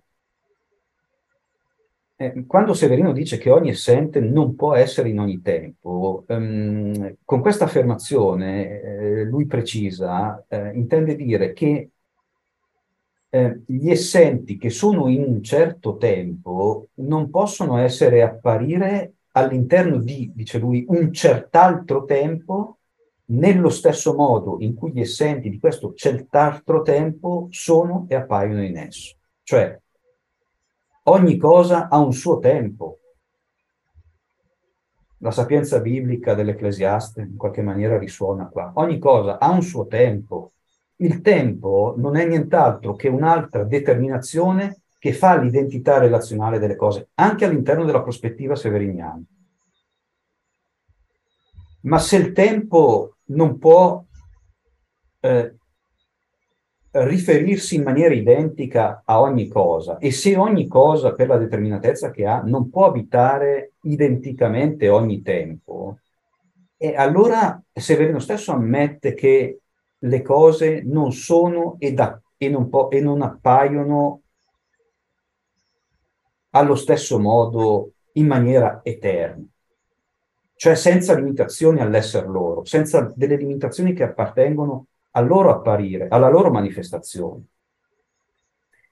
Ma se questo viene concesso, eh, Severino in, in, questo passaggio di quel libro del 2015 praticamente dà ragione a chi contesta il suo paneternalismo o il suo neoparmenilismo, se vogliamo dire così. Mi sembra, mi sembra una missione eh, che squarcia davvero eh, il velo e porta a galla il fatto che mh, probabilmente, io sono convinto, c'è un equivoco di fondo che si annida sotto il concetto dell'eternità mh, praticato eh, da Severino. Eh, se eternità significa l'impossibilità di non essere, eh, l'eternità è un concetto che non può sposarsi o applicarsi alle cose che sono cose determinate, ossia finite. Qualsiasi sia il tempo o il modo della determinatezza e della limitatezza loro, spaziale, temporale, spazio-temporale, concettuale, comunque si voglia dire. Se invece l'eternità significa l'impossibilità di trovare nel nulla una specie di buco nero che attivamente divori le cose, beh, anche qui ehm, questo tipo di rilievo è un rilievo equivoco perché non va a toccare l'essenza più genuina e autentica della metafisica classica, laddove il metafisico classico non pensa che il nulla sia una potenza attiva che divora come la ruggine o la cancrena eh, la sostanza ontologica delle cose. È il positivo, non è il nulla, è il positivo che limita, è l'altro da me che mi limita. E a volte questa limitatezza è una limitatezza sciagurata, quando il positivo che mi, che mi limita si chiama dolore, si chiama frustrazione, si chiama malattia, si chiama cosa indesiderata. Ma a volte il positivo che mi limita e che si accompagna a me come l'altro da me è anche qualcosa di buono, è qualcosa che mi fa gioire, è qualcosa di inatteso, ma che mi lascia, sorpre- eh, mi lascia felicemente sorpreso. E grazie a Dio, grazie al cielo, abbiamo anche a che fare con un, un ordine di cose che il tempo porta, un'esistenza del tempo, un insistere del tempo che ci porta però altre situazioni,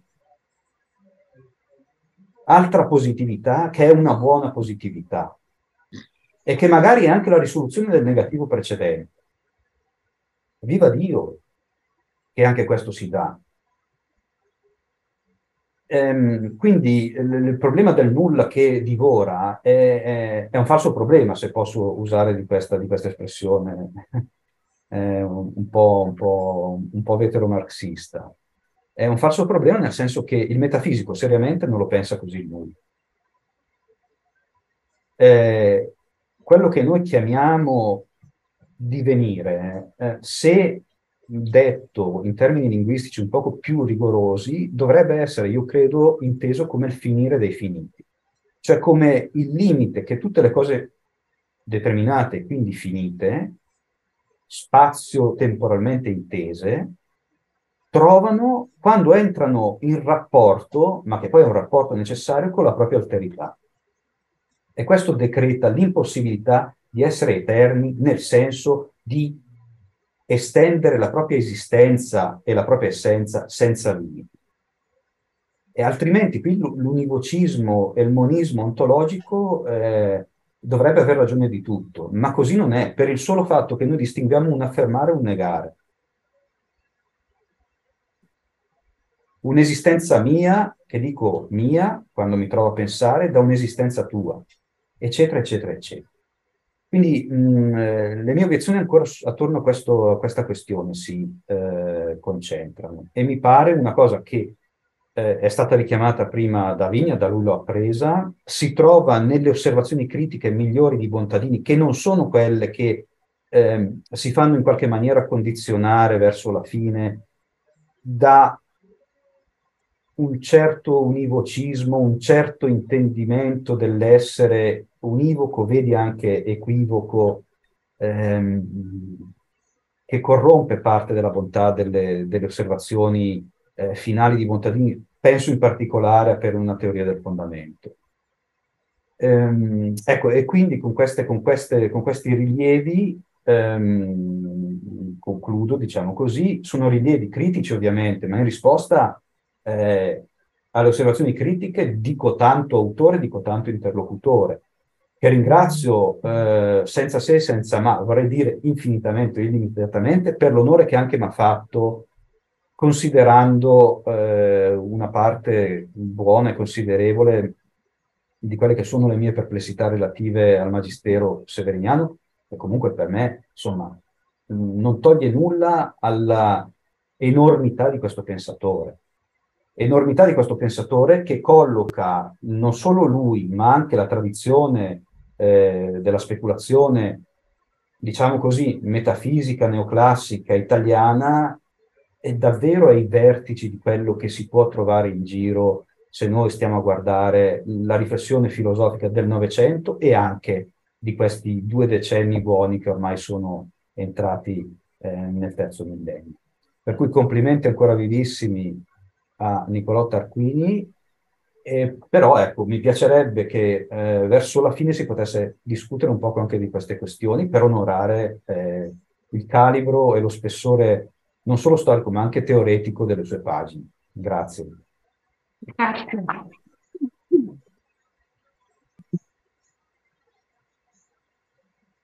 Grazie al professor Bettineschi e, e ora è il momento del professor Leonardo Messinese che prego di avvicinarsi per motivi di audio. Eh, grazie. Dobbiamo basta invertirci forse? Qualche invertirci con posso... Sì, perché altrimenti non la sento. Qua.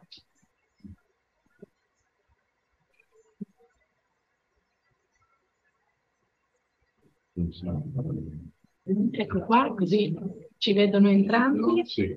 E, eh, io presento il professor Leonardo Messinese che è ordinario di metafisica presso l'Università Pontificia Lateranense di Roma e non si, non si occupa solo di quello che a noi sarebbe la filosofia teoretica, ma anche di storia della filosofia moderna e contemporanea la sua prima monografia era proprio sul pensiero di, di Emanuele Severino, ne sono seguite innumerevoli altre.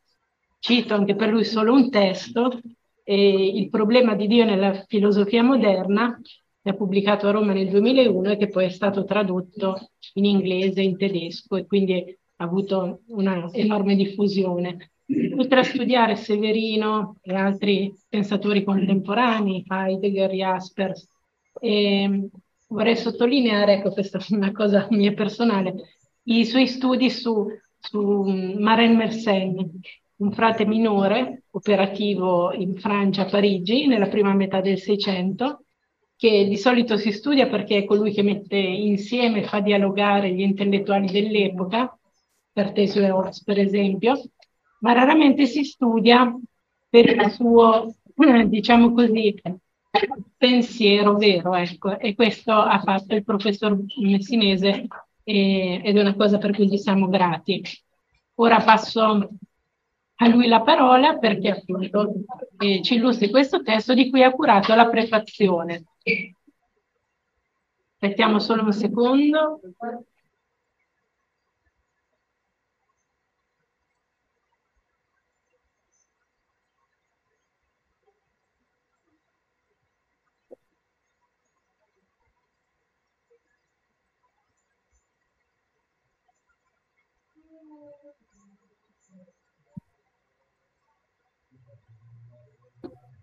Eccoci qua, passo a lui la parola.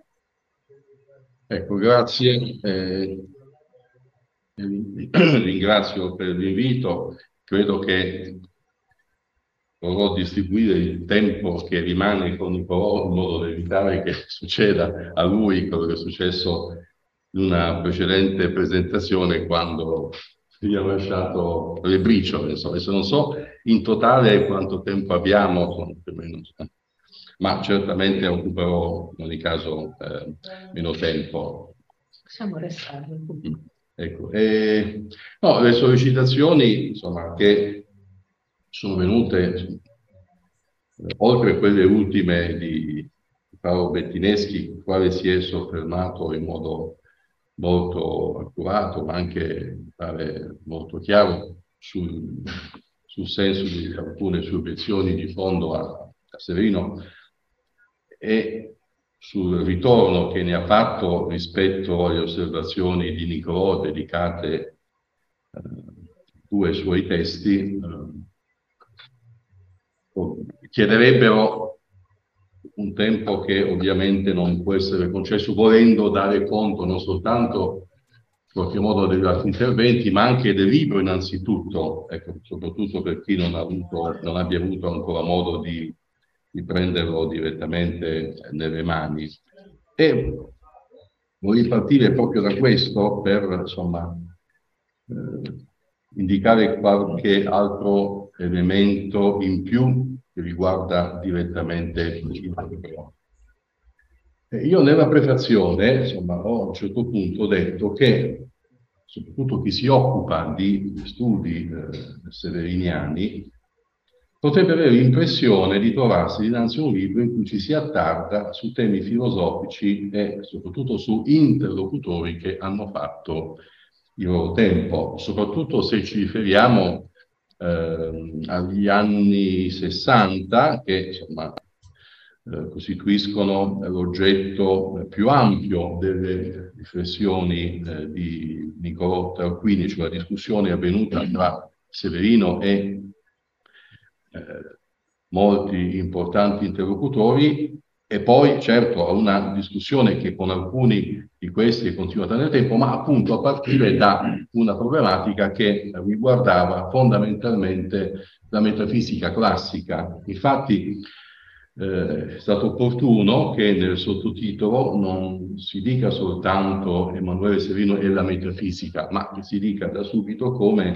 riferimento è agli interlocutori metafisici classici, innanzitutto di quella importante stagione filosofica italiana e anche di quelli che ripeto, lungo questa medesima linea di fondo si sono occupati di Severino. E direi che lo stesso eh, titolo, Eternità e Divenire, fa riferimento al modo in cui la questione severiniana, ma potremmo dire senz'altro per il nostro tema severiniano-contadiniana era stata eh, eh, presa in esame in quegli anni. Perché dico questo? Perché eh, sia a motivo del fatto che Severino negli anni eh, 80 soprattutto ha insistito sulla tematizzazione dell'ente, dell'eternità dell'ente, certo tema eternità dell'ente che appartiene fase precedente, ma che mh, era inteso alla luce del tema della eternità dell'essere e come l'imbalzo, vorrei dire, eh, diveniva poi tema dell'eternità degli enti. Ecco, successivamente, avendo messo in risalto il tema della eternità degli enti, non ovviamente separandola, perché il fondamento era sempre quello, ma venuto in, in, in luce primo piano questo, allora la questione fondamentale eh, per Severino e anche per molti dei suoi interlocutori, diciamo, successivi, è stata quella della identità, identità eh, degli enti. È una, una, sorta di eco, vorrei dire, di, di questo, che, eh, di questo passaggio, eh, mi sembra di eh, riscontrare anche nella tipologia di eh, osservazioni inserendosi appunto in questo contesto che eh, ha fatto Paolo Bettineschi.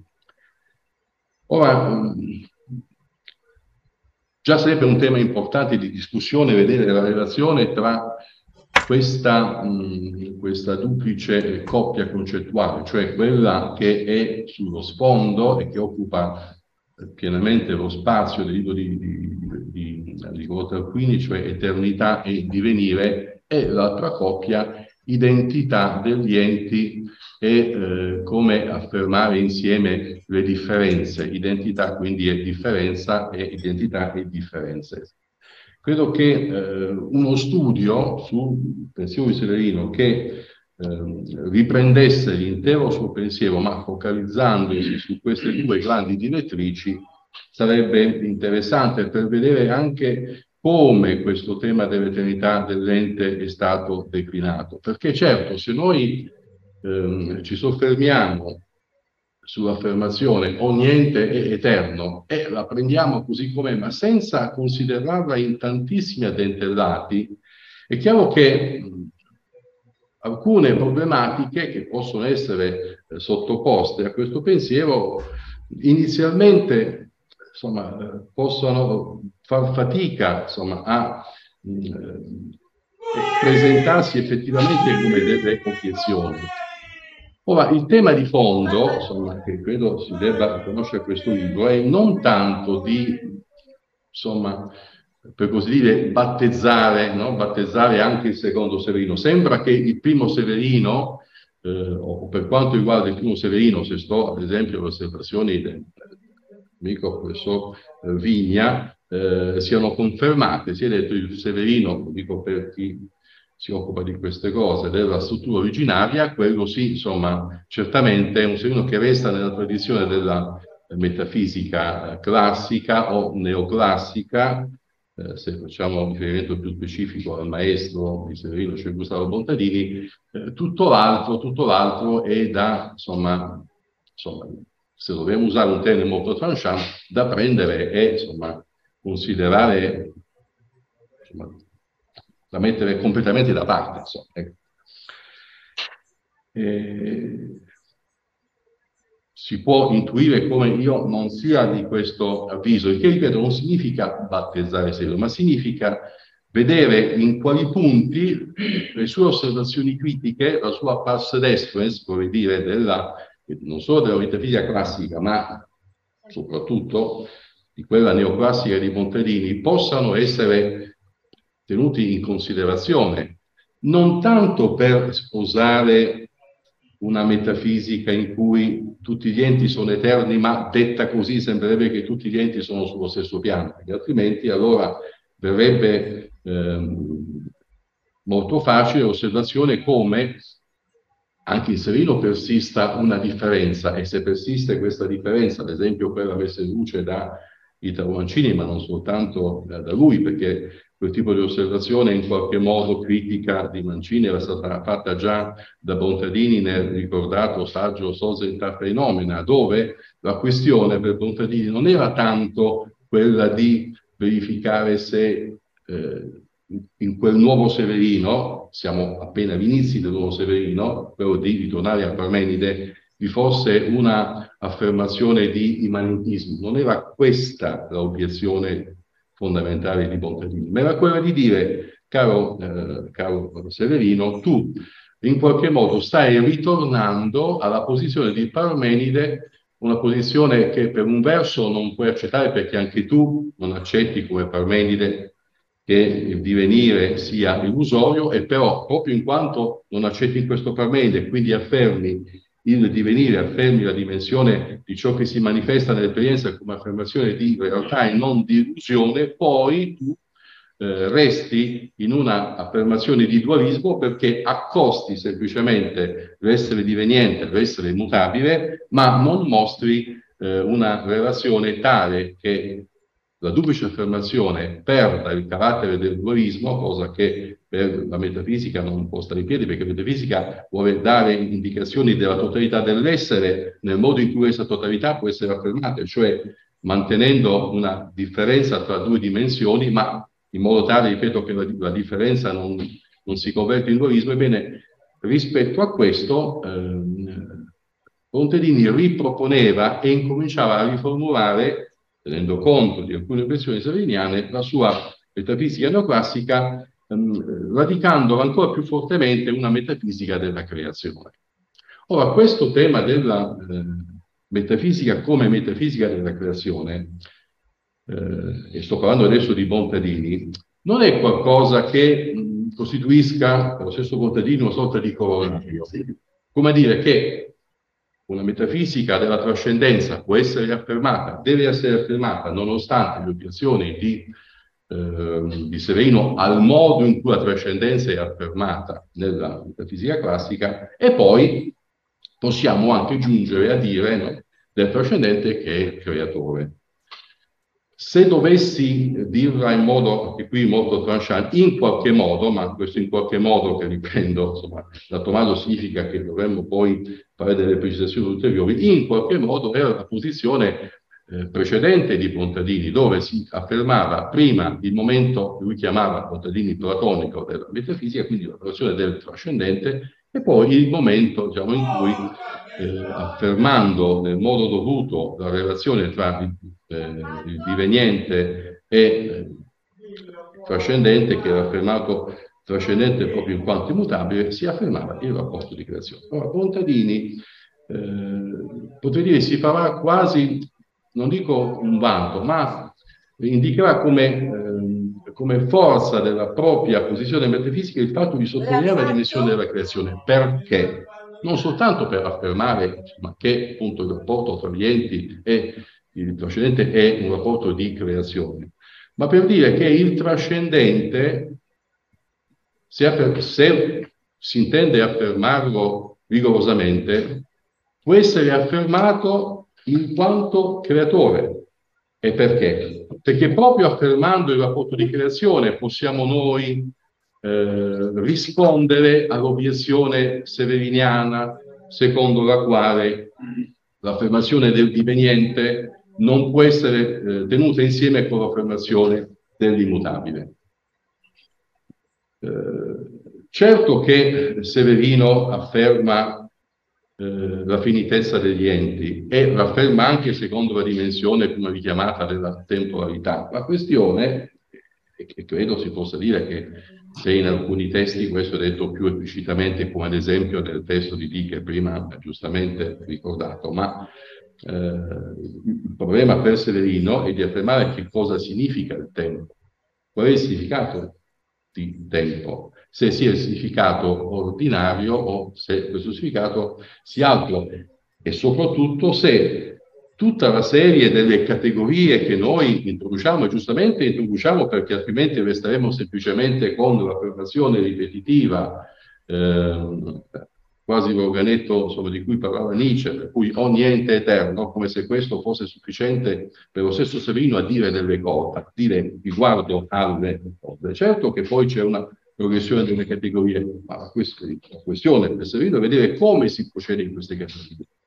Peraltro era questa la stessa strategia di, eh, di Aristotele, cioè quando Aristotele esaminava il divenire, introducendo i concetti, appunto introduceva teoricamente, cioè giustificava, deduceva questi concetti. E in qualche modo questo resta anche il lavoro eh, per Severino, come era stato anche per Pellegrino. La questione dunque diventa qual è eh, la modalità, il filo conduttore, il criterio essenziale perché si possa procedere eh, in questa progressione delle categorie. Ora si può discutere, naturalmente si deve discutere se la modalità severiniana eh, non presenti qualche elemento eh, discutibile in relazione al modo in cui egli procede, però ritengo che si debba altrettanto dire come non, si possa, non ci si possa riferire questa posizione schiacciandola su questa tesi, non perché non ci sia questa tesi, ma perché questa tesi deve essere ricompresa in una prospettiva molto più ampia.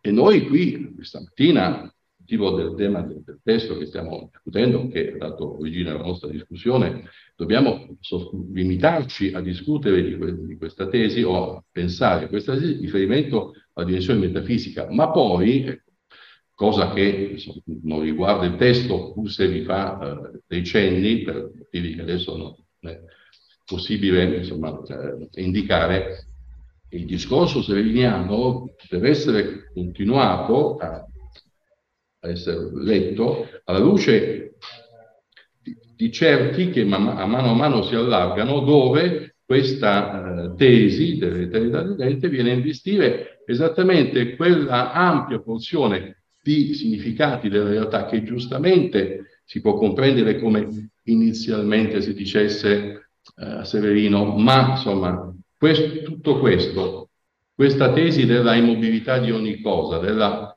immutabilità di ogni cosa, comunque debba essere eh, considerata anche in questo ampliamento di categorie metafisiche cui ho fatto appena cenno, ma che significato ha per l'esistenza? Non è forse vero si è detto, e con qualche ragione, diciamo, se ci fermiamo ad una serie di scritti, che tutto questo non ha, per un verso, non ha alcun significato per la vita dell'uomo e per un altro verso sembra che renda insignificante la vita dell'uomo.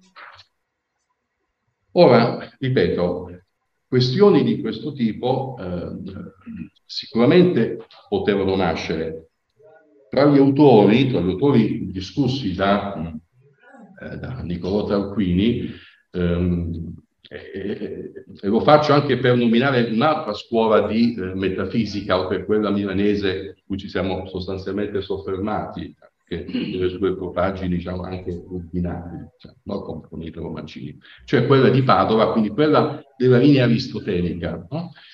Ehm, la scuola milanese, se per scuola milanese intendiamo ci restringiamo a Bontadini, cioè al maggiore dei metafisici di questa scuola, questa scuola è andata orientandosi verso una um, preminenza assegnata ruolo di Parmeni che non apparteneva a questa preminenza né al maestro comune di Bontadini e di Sofia Vanni chiamato Masnovo e neppure alla Sofia Vanni che seguiva la linea diciamo, più, più, più classica della metafisica aristotelica. Eh, la scuola di Padova dava una direzione anche un po' diversa rispetto alla linea aristotelica. Potremmo dire quella di eh, Noviglio, una linea aristotelico-tomista quella di Padova nella linea aristotelica il tomismo non ha una funzione così importante. Ecco, giusto per dare qualche indicazione ulteriore circa ehm, la complessità ecco, della discussione circa la metafisica classica in Italia di cui il libro parla. Ma dicevo, eh, due autori, eh, uno molto noto, l'altro eh, meno, insomma, di, ehm, della scuola padovana, discussi nel libro, eh, cioè Enrico Berti e poi, eh, adesso dirò dell'altro nome, avevano insomma eh, anche messo in, Carlo Sciglioni, messo in questione esattamente se ci fosse una insignificanza di, di, di risultato nella metafisica di, eh, di Severino.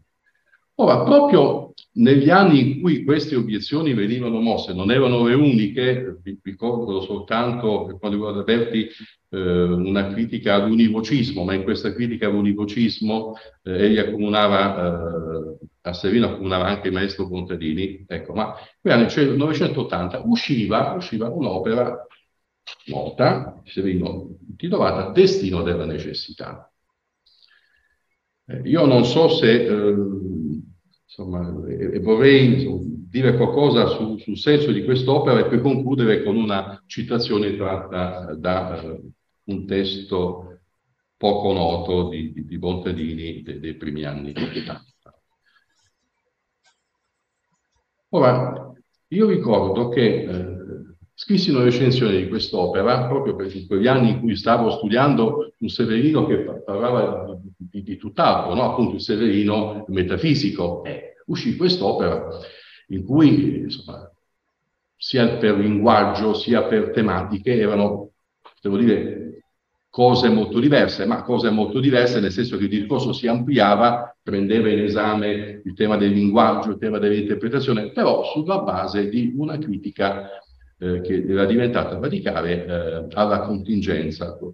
Una certa interpretazione della contingenza permaneva, nonostante tutto ciò che abbiamo ascoltato in precedenza, anche nel Severino, ma immediatamente successivo ritornava a Parmenide, certo un significato di contingenza che con, concerneva non l'ente in quanto ente, ma l'ente nella sua manifestazione, ma in ogni caso un significato di contingenza avente valore di verità persisteva anche il seguito. Tutto questo viene a cadere eh, con destino della necessità. E siccome appunto vengono a cadere molte cose, eh, quest'opera, diversamente da come io vedo, la leggevo in quegli anni quando ne scrissi, venne intesa come un un segno del nichilismo del pensiero severiniano. Quindi veniva ad essere ribaltata nei confronti di Severino, ovviamente dando un'accezione diversa al termine nichilismo rispetto a quella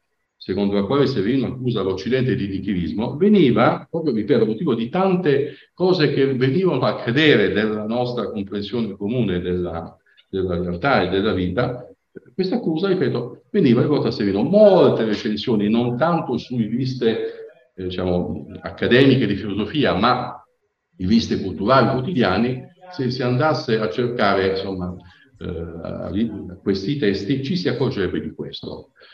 Eh, aggiungo come piccola notazione, ecco, non, non, ho, il tempo di raccontare anch'io, anche se mi piacerebbe aneddoti, ma aggiungo una piccola eh, diciamo, eh, osservazione. Io ho ritrovato, avendo potuto consultare l'archivio Bontadini, che Bontadini aveva conservato molti di questi, di questi articoli, alcuni anzi io li ho letti per la volta a distanza di anni proprio avendo potuto consultare l'archivio di, eh. Ma io la leggevo diversamente, cioè leggevo per l'opera eh, come un tentativo di mettere in questione eh, l'antropologia filosofica dell'Occidente, il senso della storia dell'Occidente, ma non in senso nichilistico, no, ma nel senso di, eh, certo Severino poi non soltanto metteva in questione, ma anche tirava delle conclusioni. Su quelle conclusioni certamente eh, si poteva, si doveva, si deve discutere, ma leggevo anche in quell'opera, e non per motivo di, insomma, di, distribuire, insomma, anche se potevo farlo per altre mie mansioni, ma distribuire insomma, eh, battesimi, insomma, il mettere in questione eh, temi, concetti che certamente possono essere, a mio parere, fondati nonostante le obiezioni severiniane, tra queste ad esempio il concetto di libertà, ma che tuttavia forse per una fondazione più rigorosa possono passare anche attraverso alcune obiezioni di Severino. Ora, prima di eh, concludere con la promessa citazione da Bontadini, eh, vorrei insomma eh, tornare eh, a eh, un'indicazione circa il tema della contingenza. Che certo, noi usiamo questo termine, possiamo intendere con questo termine l'espressione eh, scherzosa ma anche un po' maliziosa di, di Mancini, insomma, eh, avvertono il peso no, della contingenza. L'espressione cosa vorrebbe dire? Che se avverto, la affermo come qualcosa che appare di immediato, l'esperienza, no? della contingenza. Esperienza della contingenza. Bene, cito Sofia Vanni Rovigli. Dunque, non cito neanche Bontadini. Dice, beh, insomma, sappiamo della, del rapporto, quindi dice un'eventuale indicazione eh, bontadiana della contingenza potrebbe esserci qualche eh, affinità con Servino, può, a motivo del fatto che magari sarà Servino a riprenderla da Bontadini. Citiamo Sofia Vanni Rovigli su questo tema. La contingenza è qualcosa di manifesto? Diceva Vanni Rovigli, no, non è un dato, non è qualcosa di fenomenologico. Perché, aggiungeva, finissima teoretica la Panigoni. Se noi potessimo affermare la contingenza, avremmo già implicitamente affermato l'esistenza dell'essere necessario. Quindi la contingenza, riguardo a ciò che è contingente e che è affermato come contingente, è affermata soltanto una volta che abbiamo affermato che esiste una dimensione di essere che chiamiamo essere necessario, cioè abbiamo affermato l'esistenza di Dio nel senso corrente dell'espressione, eh, dimostrazione dell'esistenza di Dio. La butto lì questa, la butto lì questa, questa, questa tesi che insomma, mi pare, almeno dal mio punto di vista, è da condividere, giusto per dire come è complesso, come, come sia complesso questo tema di mettere in relazione no, che è il cuore della metafisica, almeno se intesa come metafisica classica, il diveniente con, con l'eterno, il diveniente con, con l'immutabile. Ma, ripeto, riguardo al tema, diciamo, ma se il secondo Severino eh, è, è, completamente da, da buttare. Ci mettiamo dal punto di vista di eh, Bontellini che lo ha criticato, che ha ritenuto di non poter accedere alla tesi che tutto è immobile, che tutto è eterno, e da parte sua, ma siamo eh, dall'inizio degli anni Ottanta, forse non teneva presente come incominciasse in Severino a eh, svilupparsi un pensiero che volesse cercare di indicare un nuovo modo di intendere i significati dell'esistenza. Ripeto, qualunque sia poi il giudizio che si debba dare di questo nuovo modo. Perché Bontadini riteneva che nonostante eh, l'affermazione di Severino che tutto immobile e tutto eterno, eh, questa eh, posizione dovesse essere ancora tenuta in considerazione per la stessa metafisica classica. Diceva che ehm, è un'affermazione che è indispensabile. È indispensabile perché svolge un ruolo dialettico. Lui diceva, per un verso non si può restare con Severino. E qui aggiungeva, e, e non, non, ripeto eh, che cosa si potrebbe commentare rispetto a questa osservazione di Portadini, perché andremo nella insignificanza assoluta. Cosa significa che tutto è immobile per il nostro impegno, per il nostro comportamento? Questioni validissime. Eh, ripeto, mi scuso se, se, insisto su questo, ma è soltanto per indicare come ehm, Severino abbia inteso dare risposta a questa obiezione in tutta l'opera successiva, soprattutto in quella che è chiamata la trilogia finale, cioè di un gruppo di, di opere che vanno dal 2011 al 2017, eh, al 2019, eh, dal 2017, e cioè la gloria, eh, oltre passare e la morte della terra scusate ancora, dal 2001 al 2011. Eh, la gloria 2001, per passare al 2007, la, la morte della terra 2011, la cosiddetta escatologia severiana. Ma ripeto, dice eh, non si può restare crudi e tuttavia questo è il punto che vorrei sottolineare ultimamente. Bisogna passare attraverso Severino, non perché eh, si trova un'obiezione che è superata, ma proprio per giungere alla, alla metafisica della creazione che è la mia. Quindi non Contadini, e concludo, ci sta dicendo non si afferma la metafisica della creazione nonostante Severino ma la si afferma perché c'è un punto, il punto anche di Bontadini, senza il quale non si afferma la creazione, cioè non si afferma eh, quella dimensione, il rapporto di creazione, che è quella dalla quale si passa per affermare l'essere eh, trascendente. È un passaggio obbligato per giungere alla verità. Qui è il senso di fondo del parmenidismo di Bontadini, qui è il senso di fondo di quel parmenidismo senza del quale eh, non si perviene a una metafisica di trascendenza. Ed è questa la nota che credo debba restare eh, per chi non, non accoglie, non si dispone, come non è nel mio caso, nel caso dell'autore del libro, alle conclusioni di Severino, ma si dispone, ripeto, ad accogliere questo elemento che forse non tutti i metafisici classici sarebbero disposti a, ad, ad, accettare, certamente non i metafisici della scuola eh, padovana, e che tuttavia per Bontadini era eh, il passaggio necessario per affermare una metafisica di trascendenza. Forse sono più lungo di quello che pensassi, però eh, adesso credo di poter dire anche in assenza per un predatore sì. può eh, prendere la parola sicuramente l'autore del libro. Grazie comunque a chi mi ha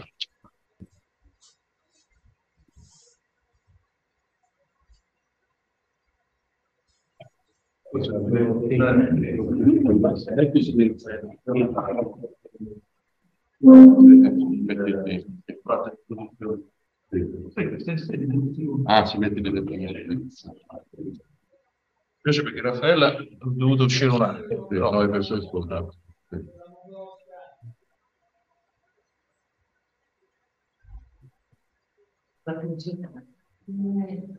Allora, eh, grazie a tutti i partecipanti e gli intervenuti. Io leggerò un piccolo eh, brano che anche magari per chi non ha avuto modo di leggere il libro può servire un po' da conclusione, poi cercando anche di eh, rispondere, dire qualcosa sulle sollecitazioni del professor Bettineschi.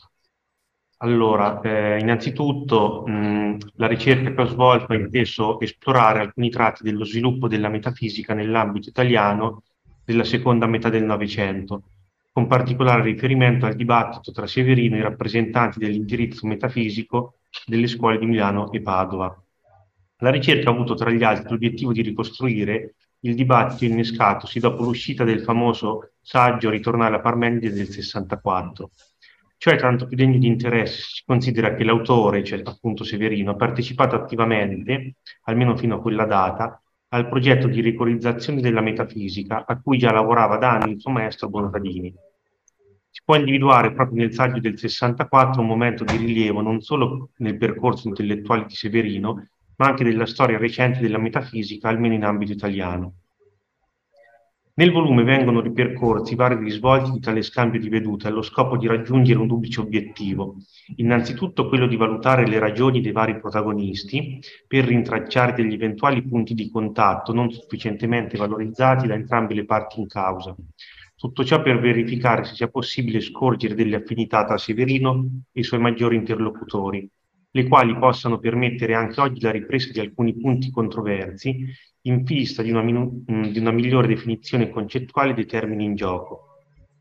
Secondariamente, per accertarsi se il percorso severiniano fosse intrinsecamente destinato ad allontanarsi dal quadro metafisico classico, come poi è stato, o se non fossero presenti delle strutture teoretiche che legittimassero una prosecuzione del suo pensiero lungo una differente prospettiva. L'itinerario intrapreso al seguito di uno dei più rilevanti dibattiti verificatosi nella filosofia del Novecento italiano ha permesso di mettere in chiaro ancora una volta la vitalità della tradizione metafisica nel senso classico del termine, ehm, sia, nel, sia all'interno del panorama filosofico nazionale che internazionale. A dispetto di chi ha sostenuto più riprese la morte della metafisica, il persistere stesso di tale discussione costituisce la prova più chiara della erroneità di quella sentenza, anche quanti hanno parlato di pensiero post-metafisico non possono non riconoscere la presenza mai interrottasi della metafisica in Italia e non solo, lungo tutto il corso del Novecento, fino ai nostri giorni. Una presenza che verosimilmente è destinata a protarsi fin tanto che continuerà ad essere esercitata la riflessione filosofica, il fatto stesso che si viva in un modo piuttosto che in un altro, seguendo certe norme, certe priorità, o che si dia un certo senso alla vita, è già testimonianza del fatto che si ha una visione della totalità in cui la vita è inserita. Ma avere una, seppur implicita, concezione del tutto significa avere una metafisica.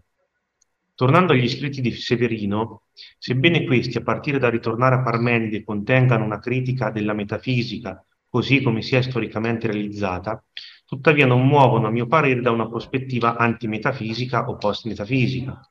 Piuttosto pare decisamente rilevante come l'angolo prospettico a partire dal quale provengono quelle contestazioni è ancora una volta quello della metafisica, seppur intesa in senso mh, differente. Quando cioè il filosofo bresciano sostiene che la metafisica è stata una fisica, sta dicendo che al di là delle intenzioni, e nonostante non volesse essere tale, la metafisica che si è andata sviluppando dai greci a oggi ha mancato il suo obiettivo. Ha inteso essere scienza dell'ente in quanto ente, ma si è poi costituita come scienza dell'ente in quanto diveniente, cioè appunto come una fisica. Il tono della critica contenuta nel ritornare a Parmenide consente quindi di cogliere in modo chiaro lo spirito da cui si origina quel testo e quelli degli anni successivi, ossia l'intento di realizzare una metafisica che tenga fede all'intenzione fondamentale della stessa, cioè quella del costituirsi della scienza dell'ente in quanto tale. La tradizione metafisica occidentale è messa sotto accusa da Severino non per la sua pretesa di arrivare troppo in alto, non in quanto pretenda di dire troppo, ma al contrario perché dice troppo poco, data l'incapacità di cogliere l'autentico senso dell'essere di ogni ente, cioè il suo non poter non essere.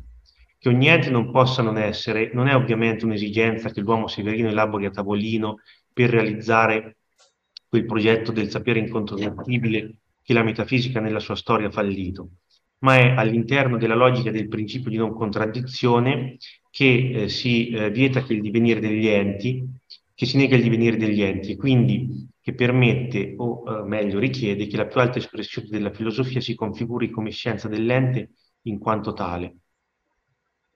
Anche in relazione al tema della presunta insensatezza delle asserzioni metafisiche avanzata dalla corrente neopositivista, non pare si possano fare degli accostamenti con la critica severiniana.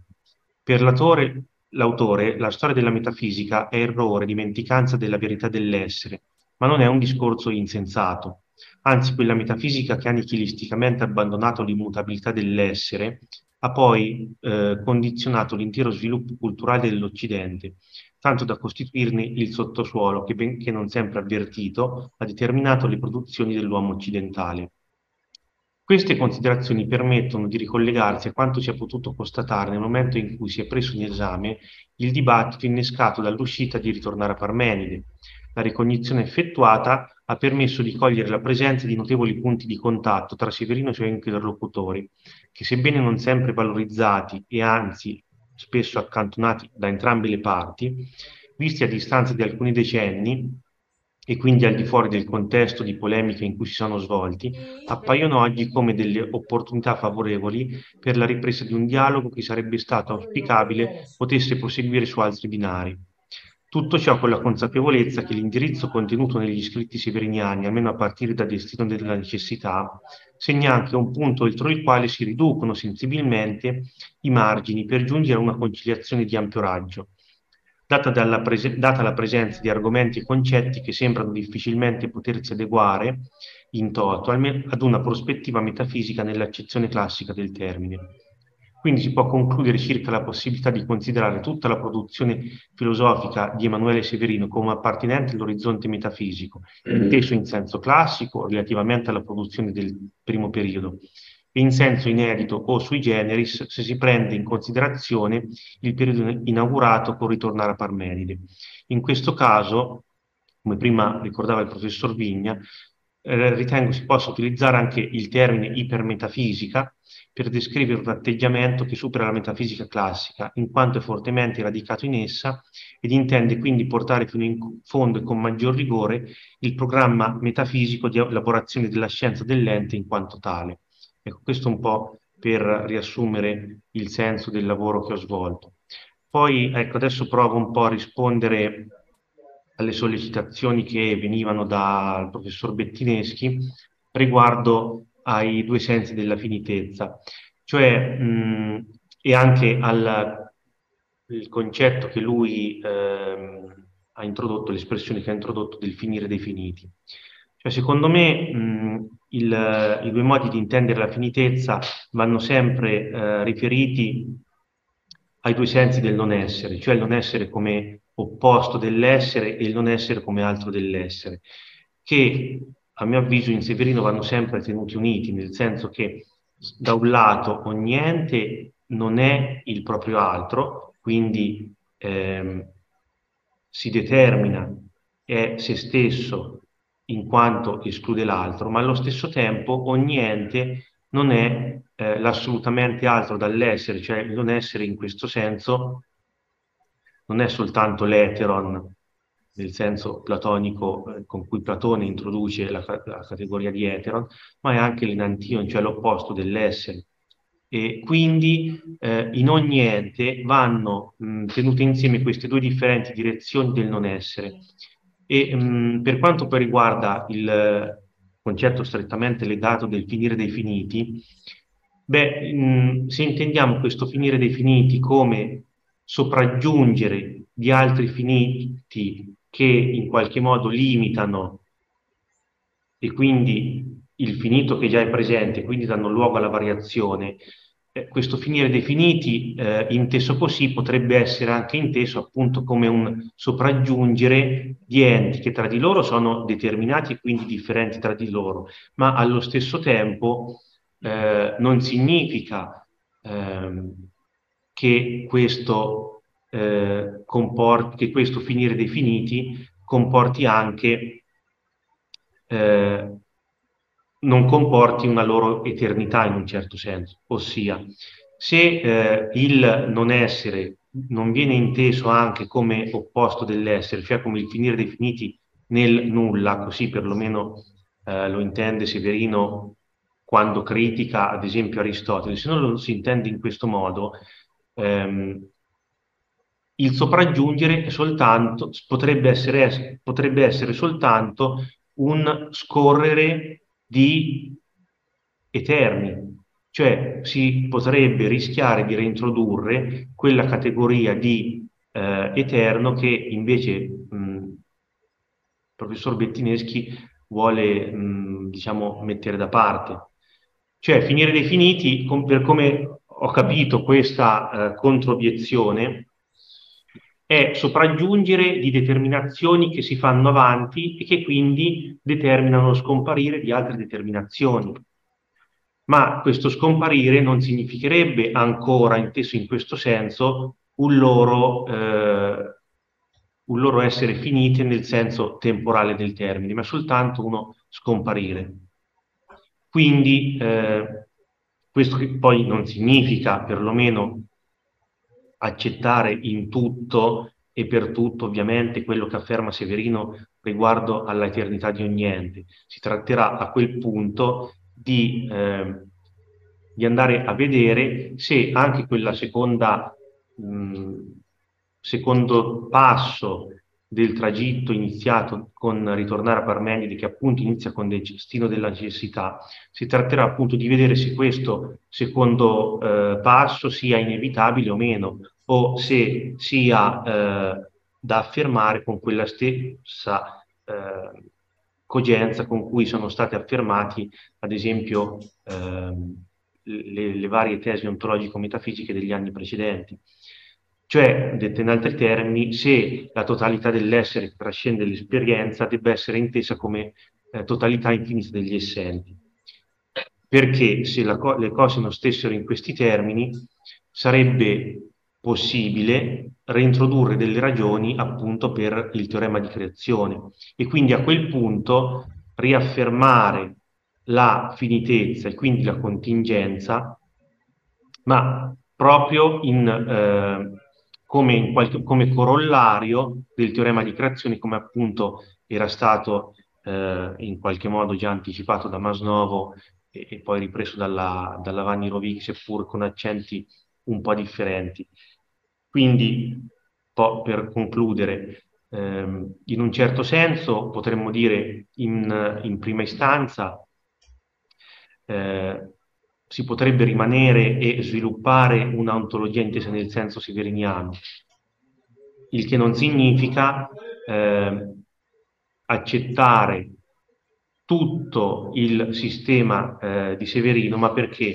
Non perché eh, semplicemente Ehm, non per, per una scelta personale, ma proprio per andare a vedere se non ci siano delle ragioni che permettano di prendere un'altra strada rispetto a quella intrapresa da destino della necessità in poi, che effettivamente, perlomeno per quanto riguarda eh, la, il rapporto tra totalità dell'essere e essere che appare, si configura come mh, estranea alla metafisica classica.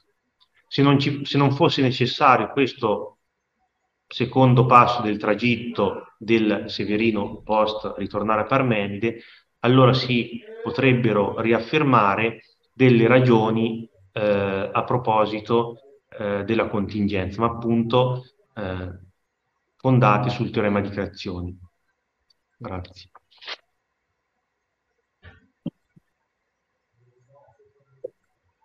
Allora io ringrazio tutti i partecipanti, i professori che hanno presentato il libro di Niccolo Tarquini, ringrazio l'autore, e ringrazio le persone che hanno assistito sia qui in presenza che a distanza e chiudiamo questo incontro e ne seguiranno altri che spero siano altrettanto interessanti. Grazie a tutti. Grazie a voi. Grazie. Ciao. Grazie. Ciao, ciao. Ciao, ciao. ciao. Grazie, arrivederci a tutti. Grazie.